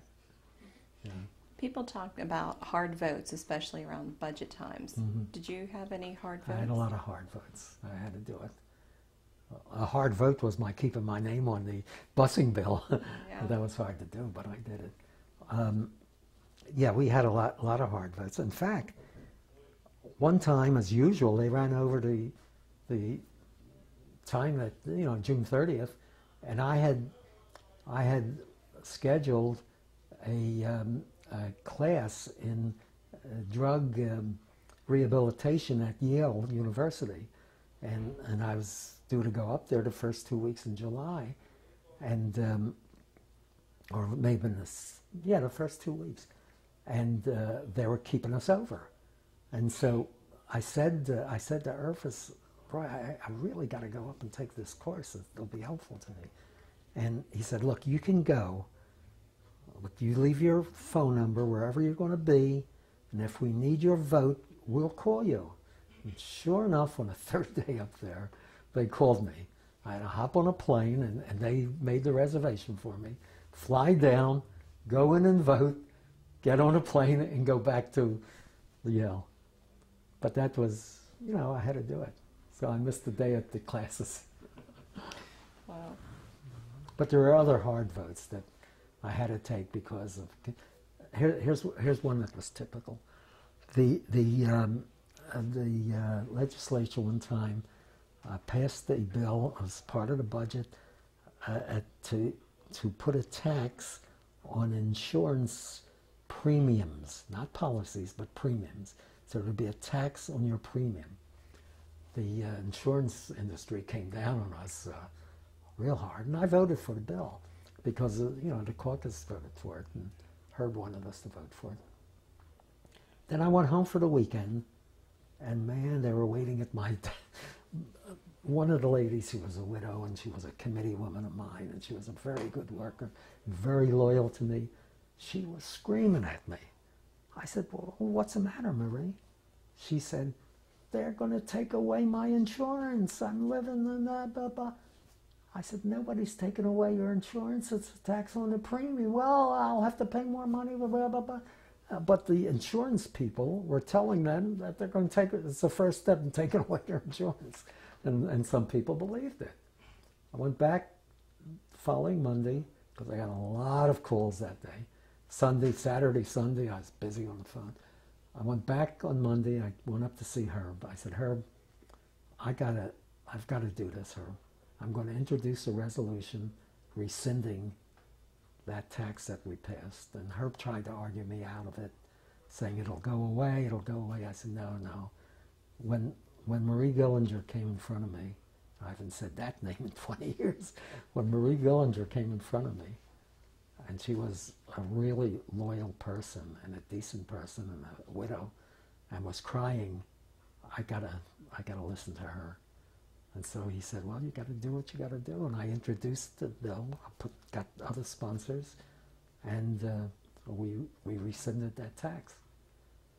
And that was a hard vote because I didn't like to go against the caucus, but uh, I did it when I had to do it. Mm-hmm. Yeah. Was it tough to go against leadership? It's tough to go against leadership. But I didn't, you know, I didn't that, do that too often. But uh, when I had to do it, I did it. When you recount your experiences on the on the house floor or as a just as a member, do you have a favorite story? Well, I've told you a couple of them. Um, besides those, there was there was a, a time another budget story, and we were one vote shy. The Democrats were in charge, and we were one vote shy of passing the budget. And that vote was an, a very old guy from um, a farm area. He was a farmer. And uh, I forget what county he was from. And he was not going to vote for it because there were tax increases in it. And, but he sat in the seat. And he was a nice guy. But, you know, we, we had the levers that you push. He held his hand over the lever so nobody would push it. he had it pushed no, and he held his hand over there. And he put his head down, and this whip came over to talk to him, and, uh, and others, and the speaker came down, and and then they brought a senator in. Um, I'll get his name soon. Uh, from the same area, and I don't know what he said to him, but he straightened up, took back his hand. The senator flipped his lever, and and that got the bill passed. but that was tough. Wow. That was tough. I remember a day we had a, um, a legislator, getting a lot older than me, who was um, who had that I forget what you call it, nar something where you fall asleep in the middle of oh, second narcolepsy. So he would stand at the microphone, and they always gave him the seat next to the microphone. He would get up to make a speech, and he was good. And he'd stand there, and one of the legislators was assigned to catch him. And in the middle of his speech, he'd doze off and they'd sit him down. And then when he woke up, he'd go back up and take off where he left off. And, and this was, you know, it was kind of tragic, but, but we accommodated him. And Mhm. uh, it was, he got elected year after year. He could never be beat. He retired. Did you have a fondest memory? Well, there, there were a lot of them, but I think the day we passed the drug bills, that, that was really the highlight of my whole career. And, and then, uh, to show you how fond I was, on April 14th, the governor, 1972, Governor Shapp signed the bills, and we had all of the, the people who sponsored it stand around him, and you know they, they do. And every year thereafter, on April the 14th, they had the governor come out and, and call the members of the Governor's Council on Drug and Alcohol Abuse, which was part of that bill. I got to tell you a little about that. But call them to come up and stand with the governor and, and get a picture taken as an anniversary. This continued until Thornburgh became governor. And the first time he was going to do it, and they didn't call me because I'm a Democrat and I was county chairman and, you know, I didn't support them. But I happened to be in Harrisburg that day and I saw one of the members and he said, oh, Milt, you coming over to... I said, no, I'm, I don't know about it. What, what is it? He told me. So I went over.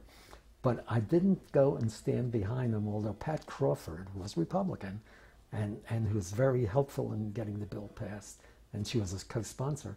She wanted me to come up. Come on, Milt, come on. And I, I, I said, no, I've not been invited.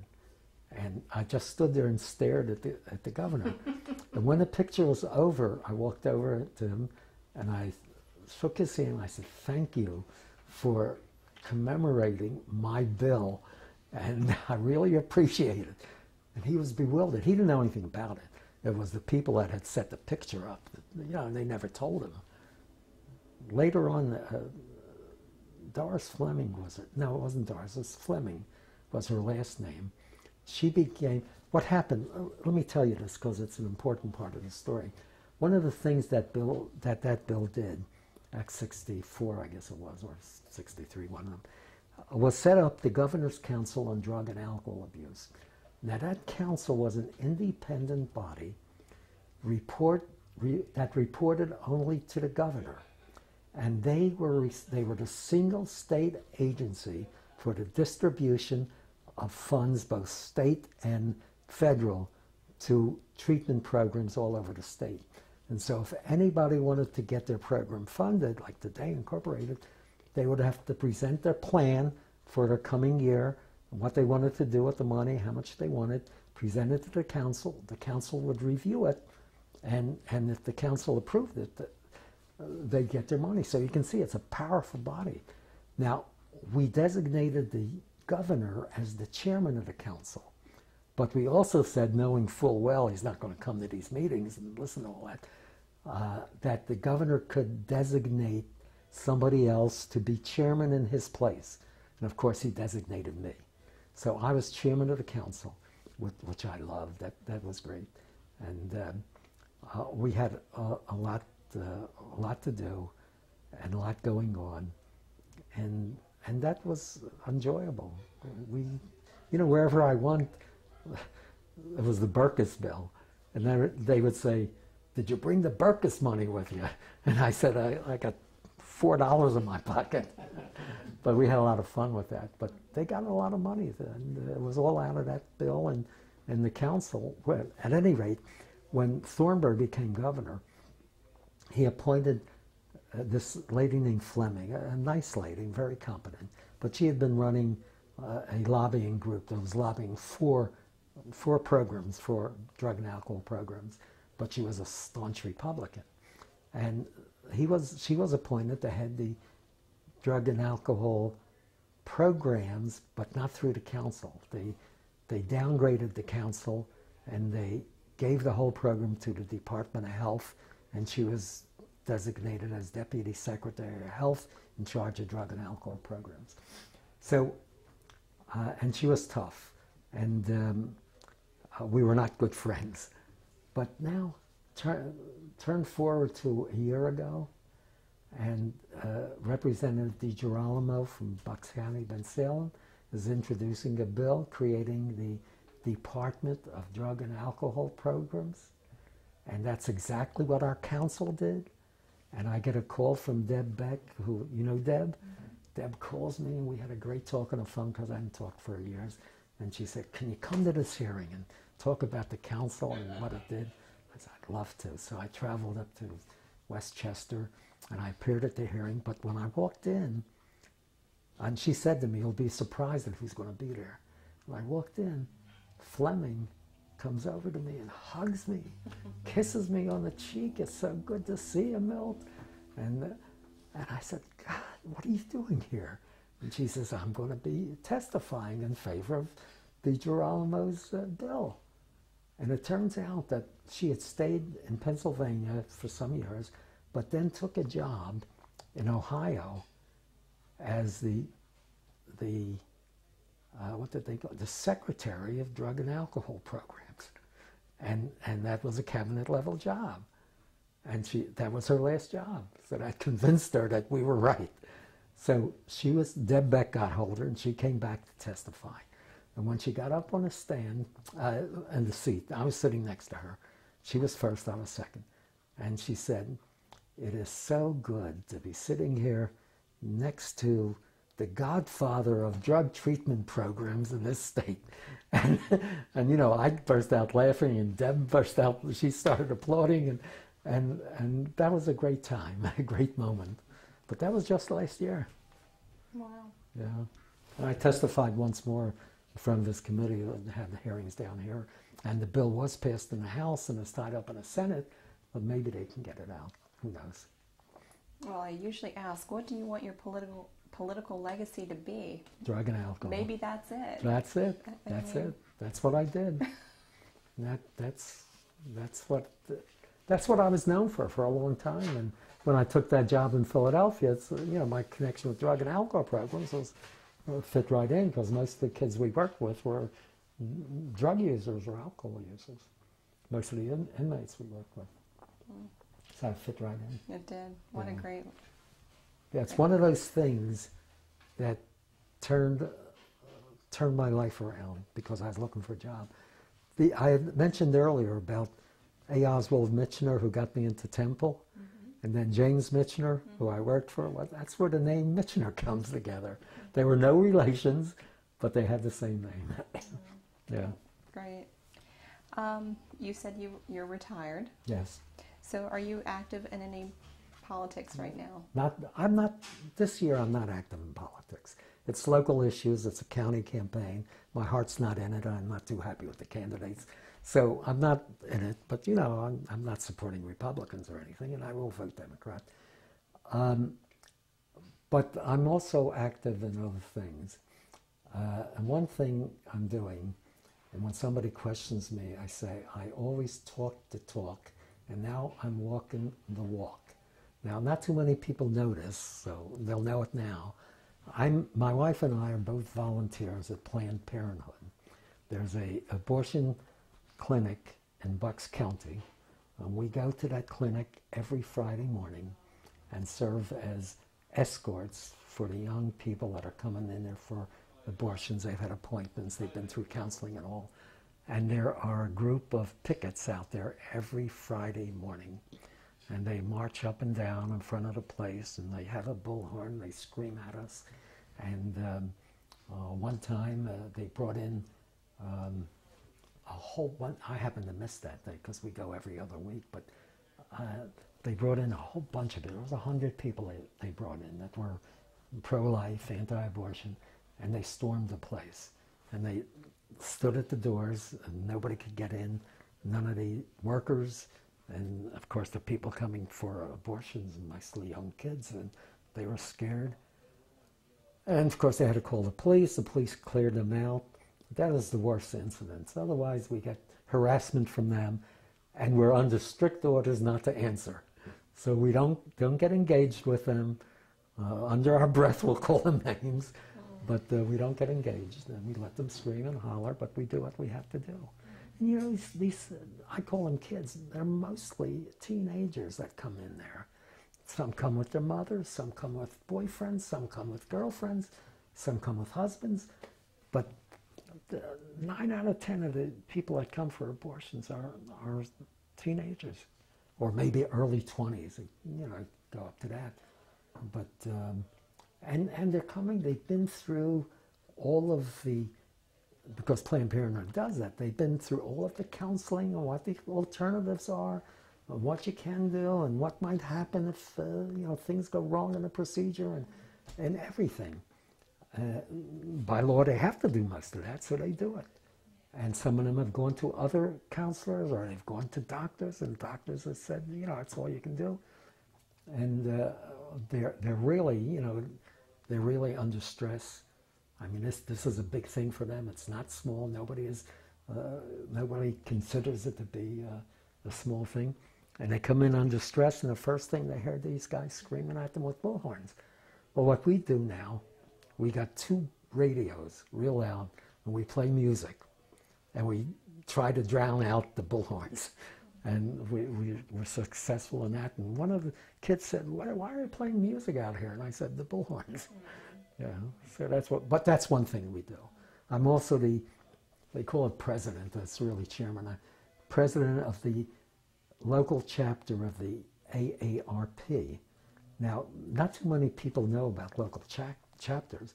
What we do in the local chapter, we don't sell insurance and we don't sell uh, uh, automobiles. Uh, you know, what we do is work on senior issues. So I worked, worked hard on the Medicare thing. I was against the National when they they they flipped and and re, uh, supported the Part D, the the drug thing, because they gave they George Bush the one or two votes they needed to push push it over the top. I worked hard on Social Security. We got that stopped, uh, where they wanted to privatize Social Security. We stay aware of the property tax is a big issue for seniors. And we have monthly meetings, which we invite, invite a speaker. And we had Chris King at our last meeting, and we'll have Tony at, uh, at another meeting, and, and uh, you know, the other representatives from down here, from Bucks County. And um, that's the other thing I do mainly. Politically, I do little things if people ask me. Somebody come running for office asks me for advice, like I get a lot of that and and you know I'll talk to them, meet with them, help them out.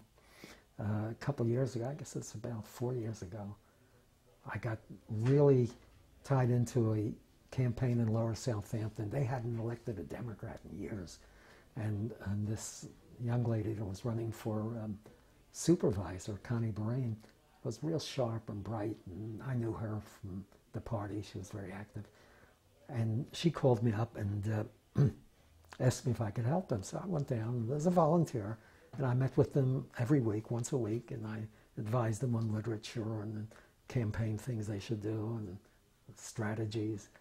And, and they won. They won for the first time in many, many years. And uh, they now have a majority in that town of Democrats on the Board of Supervisors, and they elected school board members too, which they never had before. So that's, you know, I, I like to do that kind of thing, but I, I recognize that I'm 83 years old and, and I'm losing it. And, and uh, so I don't push myself. If I can remember something, I'll help them. Yeah. When do you think you first had that political aspiration bug? Because that's that's another question I, yeah. I usually ask, but I don't think I asked I, you. You know, it may have been hidden within me from what I heard my father say, and, and when they had these speakers out there from mainly from the Communist Party, uh, speaking. You know, I got to hear them, and and then they had you know Republican and Democratic candidates. Franklin Roosevelt was my hero. Uh, I always regretted that I could never vote for him because the voting age was 21. When I was 18, I was already in the Philippine Islands and wasn't able to vote anyhow because I wasn't 21. I couldn't vote until I got home, and then I voted for Truman the first time. But um, uh, that's when I got the bug. And I really got the bug for more for national politics when I went to that first convention in 1964. And then I went to five more conventions after that. I, I just loved those conventions. And I knew that, you know, you don't, you know, your voice doesn't mean anything. Your vote is nothing. I was in, in Chicago in 68 when those kids rioted and, and we couldn't get to the uh, convention hall out uh, there, and I forget what they called it. Uh, we couldn't get there because the buses were on strike and the trolley cars were on strike and taxi cabs were on strike. And the only way we can get there was that the mayor, Mayor Daley, uh, the old man, uh, who was the, the boss of uh, Chicago, he commandeered every private bus he could find, school buses and everything else, and set up a schedule to pick us up. And we had to be there when the, the bus was there and to take us back back to our hotels. And, and, and I was in the middle of them rioting at the hotel where Hubert Humphrey was staying. And they had to, you know, the police were out there in force, but um, it was a really telling experience. It was, it was tough. Well, you said you really didn't have aspirations for leadership. Did you ever have any aspirations for any higher office? Only once. Here's what happened. They created a a reapportionment. I forget what year it was. Might have been 72. Might have been 72. But they expanded the 6th congressional district, which had been all of Bucks County, I mean, the lower end of Bucks County, into Philadelphia. And so there was a part of Philadelphia. Philadelphia is going to lose a, a, a um, state senator. So there was a part of Philadelphia in the district. And um, I really wanted to run for that district. And I talked to, to Fineman and the leaders, and I talked to, um, I forget his name, he was the uh, city chairman in Philadelphia, come to me soon. And uh, he said, oh, you'd be fine, Milt, we, would like you, blah, blah, blah. And the way it works is that they create a plan, and the Republicans create one, the Democrats create one, and, when and, and the district, incidentally, was represented at the time by Bob Rovner, the Philadelphia part of the district. And so they had these plans, and the Republicans wanted, wanted to protect Bobby Rovner, and, and you know our people wanted to put me in that district to beat them. And as of the night before they were to vote on the plan, and we had the votes to pass the Democratic plan, as of the night before, I was slated to be the candidate. Uh, informally, you know, no, nobody ever said anything formally. And when they brought the, the map out, it was my my house was located a half a block from the boundary line. The, the cross street, and I was a half a block on the other side. So if I didn't want to move, I couldn't run. That was my ambition. I never had an ambition for Congress because I saw if Michener couldn't win, who could? And until Peter Kostmayer came along, and we had a, he was a protege of mine, uh, and I convinced him to change his party from Republican to Democrat, and we ran him for Congress, and and it was a good campaign he had. But John Renninger was the who's dead now. He was a state house member, and uh, he um, was the Republican candidate, and he took it for granted that he was going to win, and he lost by about a thousand votes. Yeah. But until then, I didn't think we would ever be able to win the Congress seat. Well, you talked about giving advice to to people that are looking to run, mm-hmm. or as a party, maybe giving them advice. What would your advice be for new members of the House of Representatives? One, pay attention to cons- to constituents. Do your cons- have people, have people who work for you, staff people, who have good contacts with the Department of Transportation, there's always problems there, Department of Welfare, Health, have them have inside contacts that they can call if they need something done for a constituent. So constituent services is the first thing. And the second thing is to pay attention to your people, what they want, rather than what the party wants. And if there's something, I, I don't say cross party lines, but if there is something that that might not go with the leadership, you fight to get it get it on the calendar. And if it can't go, it can't go. But uh, but you put up a fight, and you can say to your people back home, that uh, you did it. The, the worst thing really about being in the legislature, you asked me that before, is that you have to run every two years. It's terrible. You never stop running. The day after you're elected, you're, you're running for the next time. And, uh, you know, that, uh, that's the worst part of it. And now, when I was there, I didn't have to raise a lot of money. I mean, I, don't- I don't remember spending hardly anything in my campaign. I printed little cards and, and give out at the polls. But um, I didn't have to raise a lot of money. But uh, today, God, they, they spend, I don't know how much uh, King and uh, Matt Wright spend, but boy, they spend a lot of money over there. Tony doesn't spend as much, but he's, he's got a better district. But in Middletown, they, they had a good fight, a big fight, and, and King uh, was another protege of mine. King um, uh, beat an incumbent, which is hard to do. Yeah, but that, you know, pay attention to your district first, and then stick with the party on, on basic issues. Thank you very much. Okay.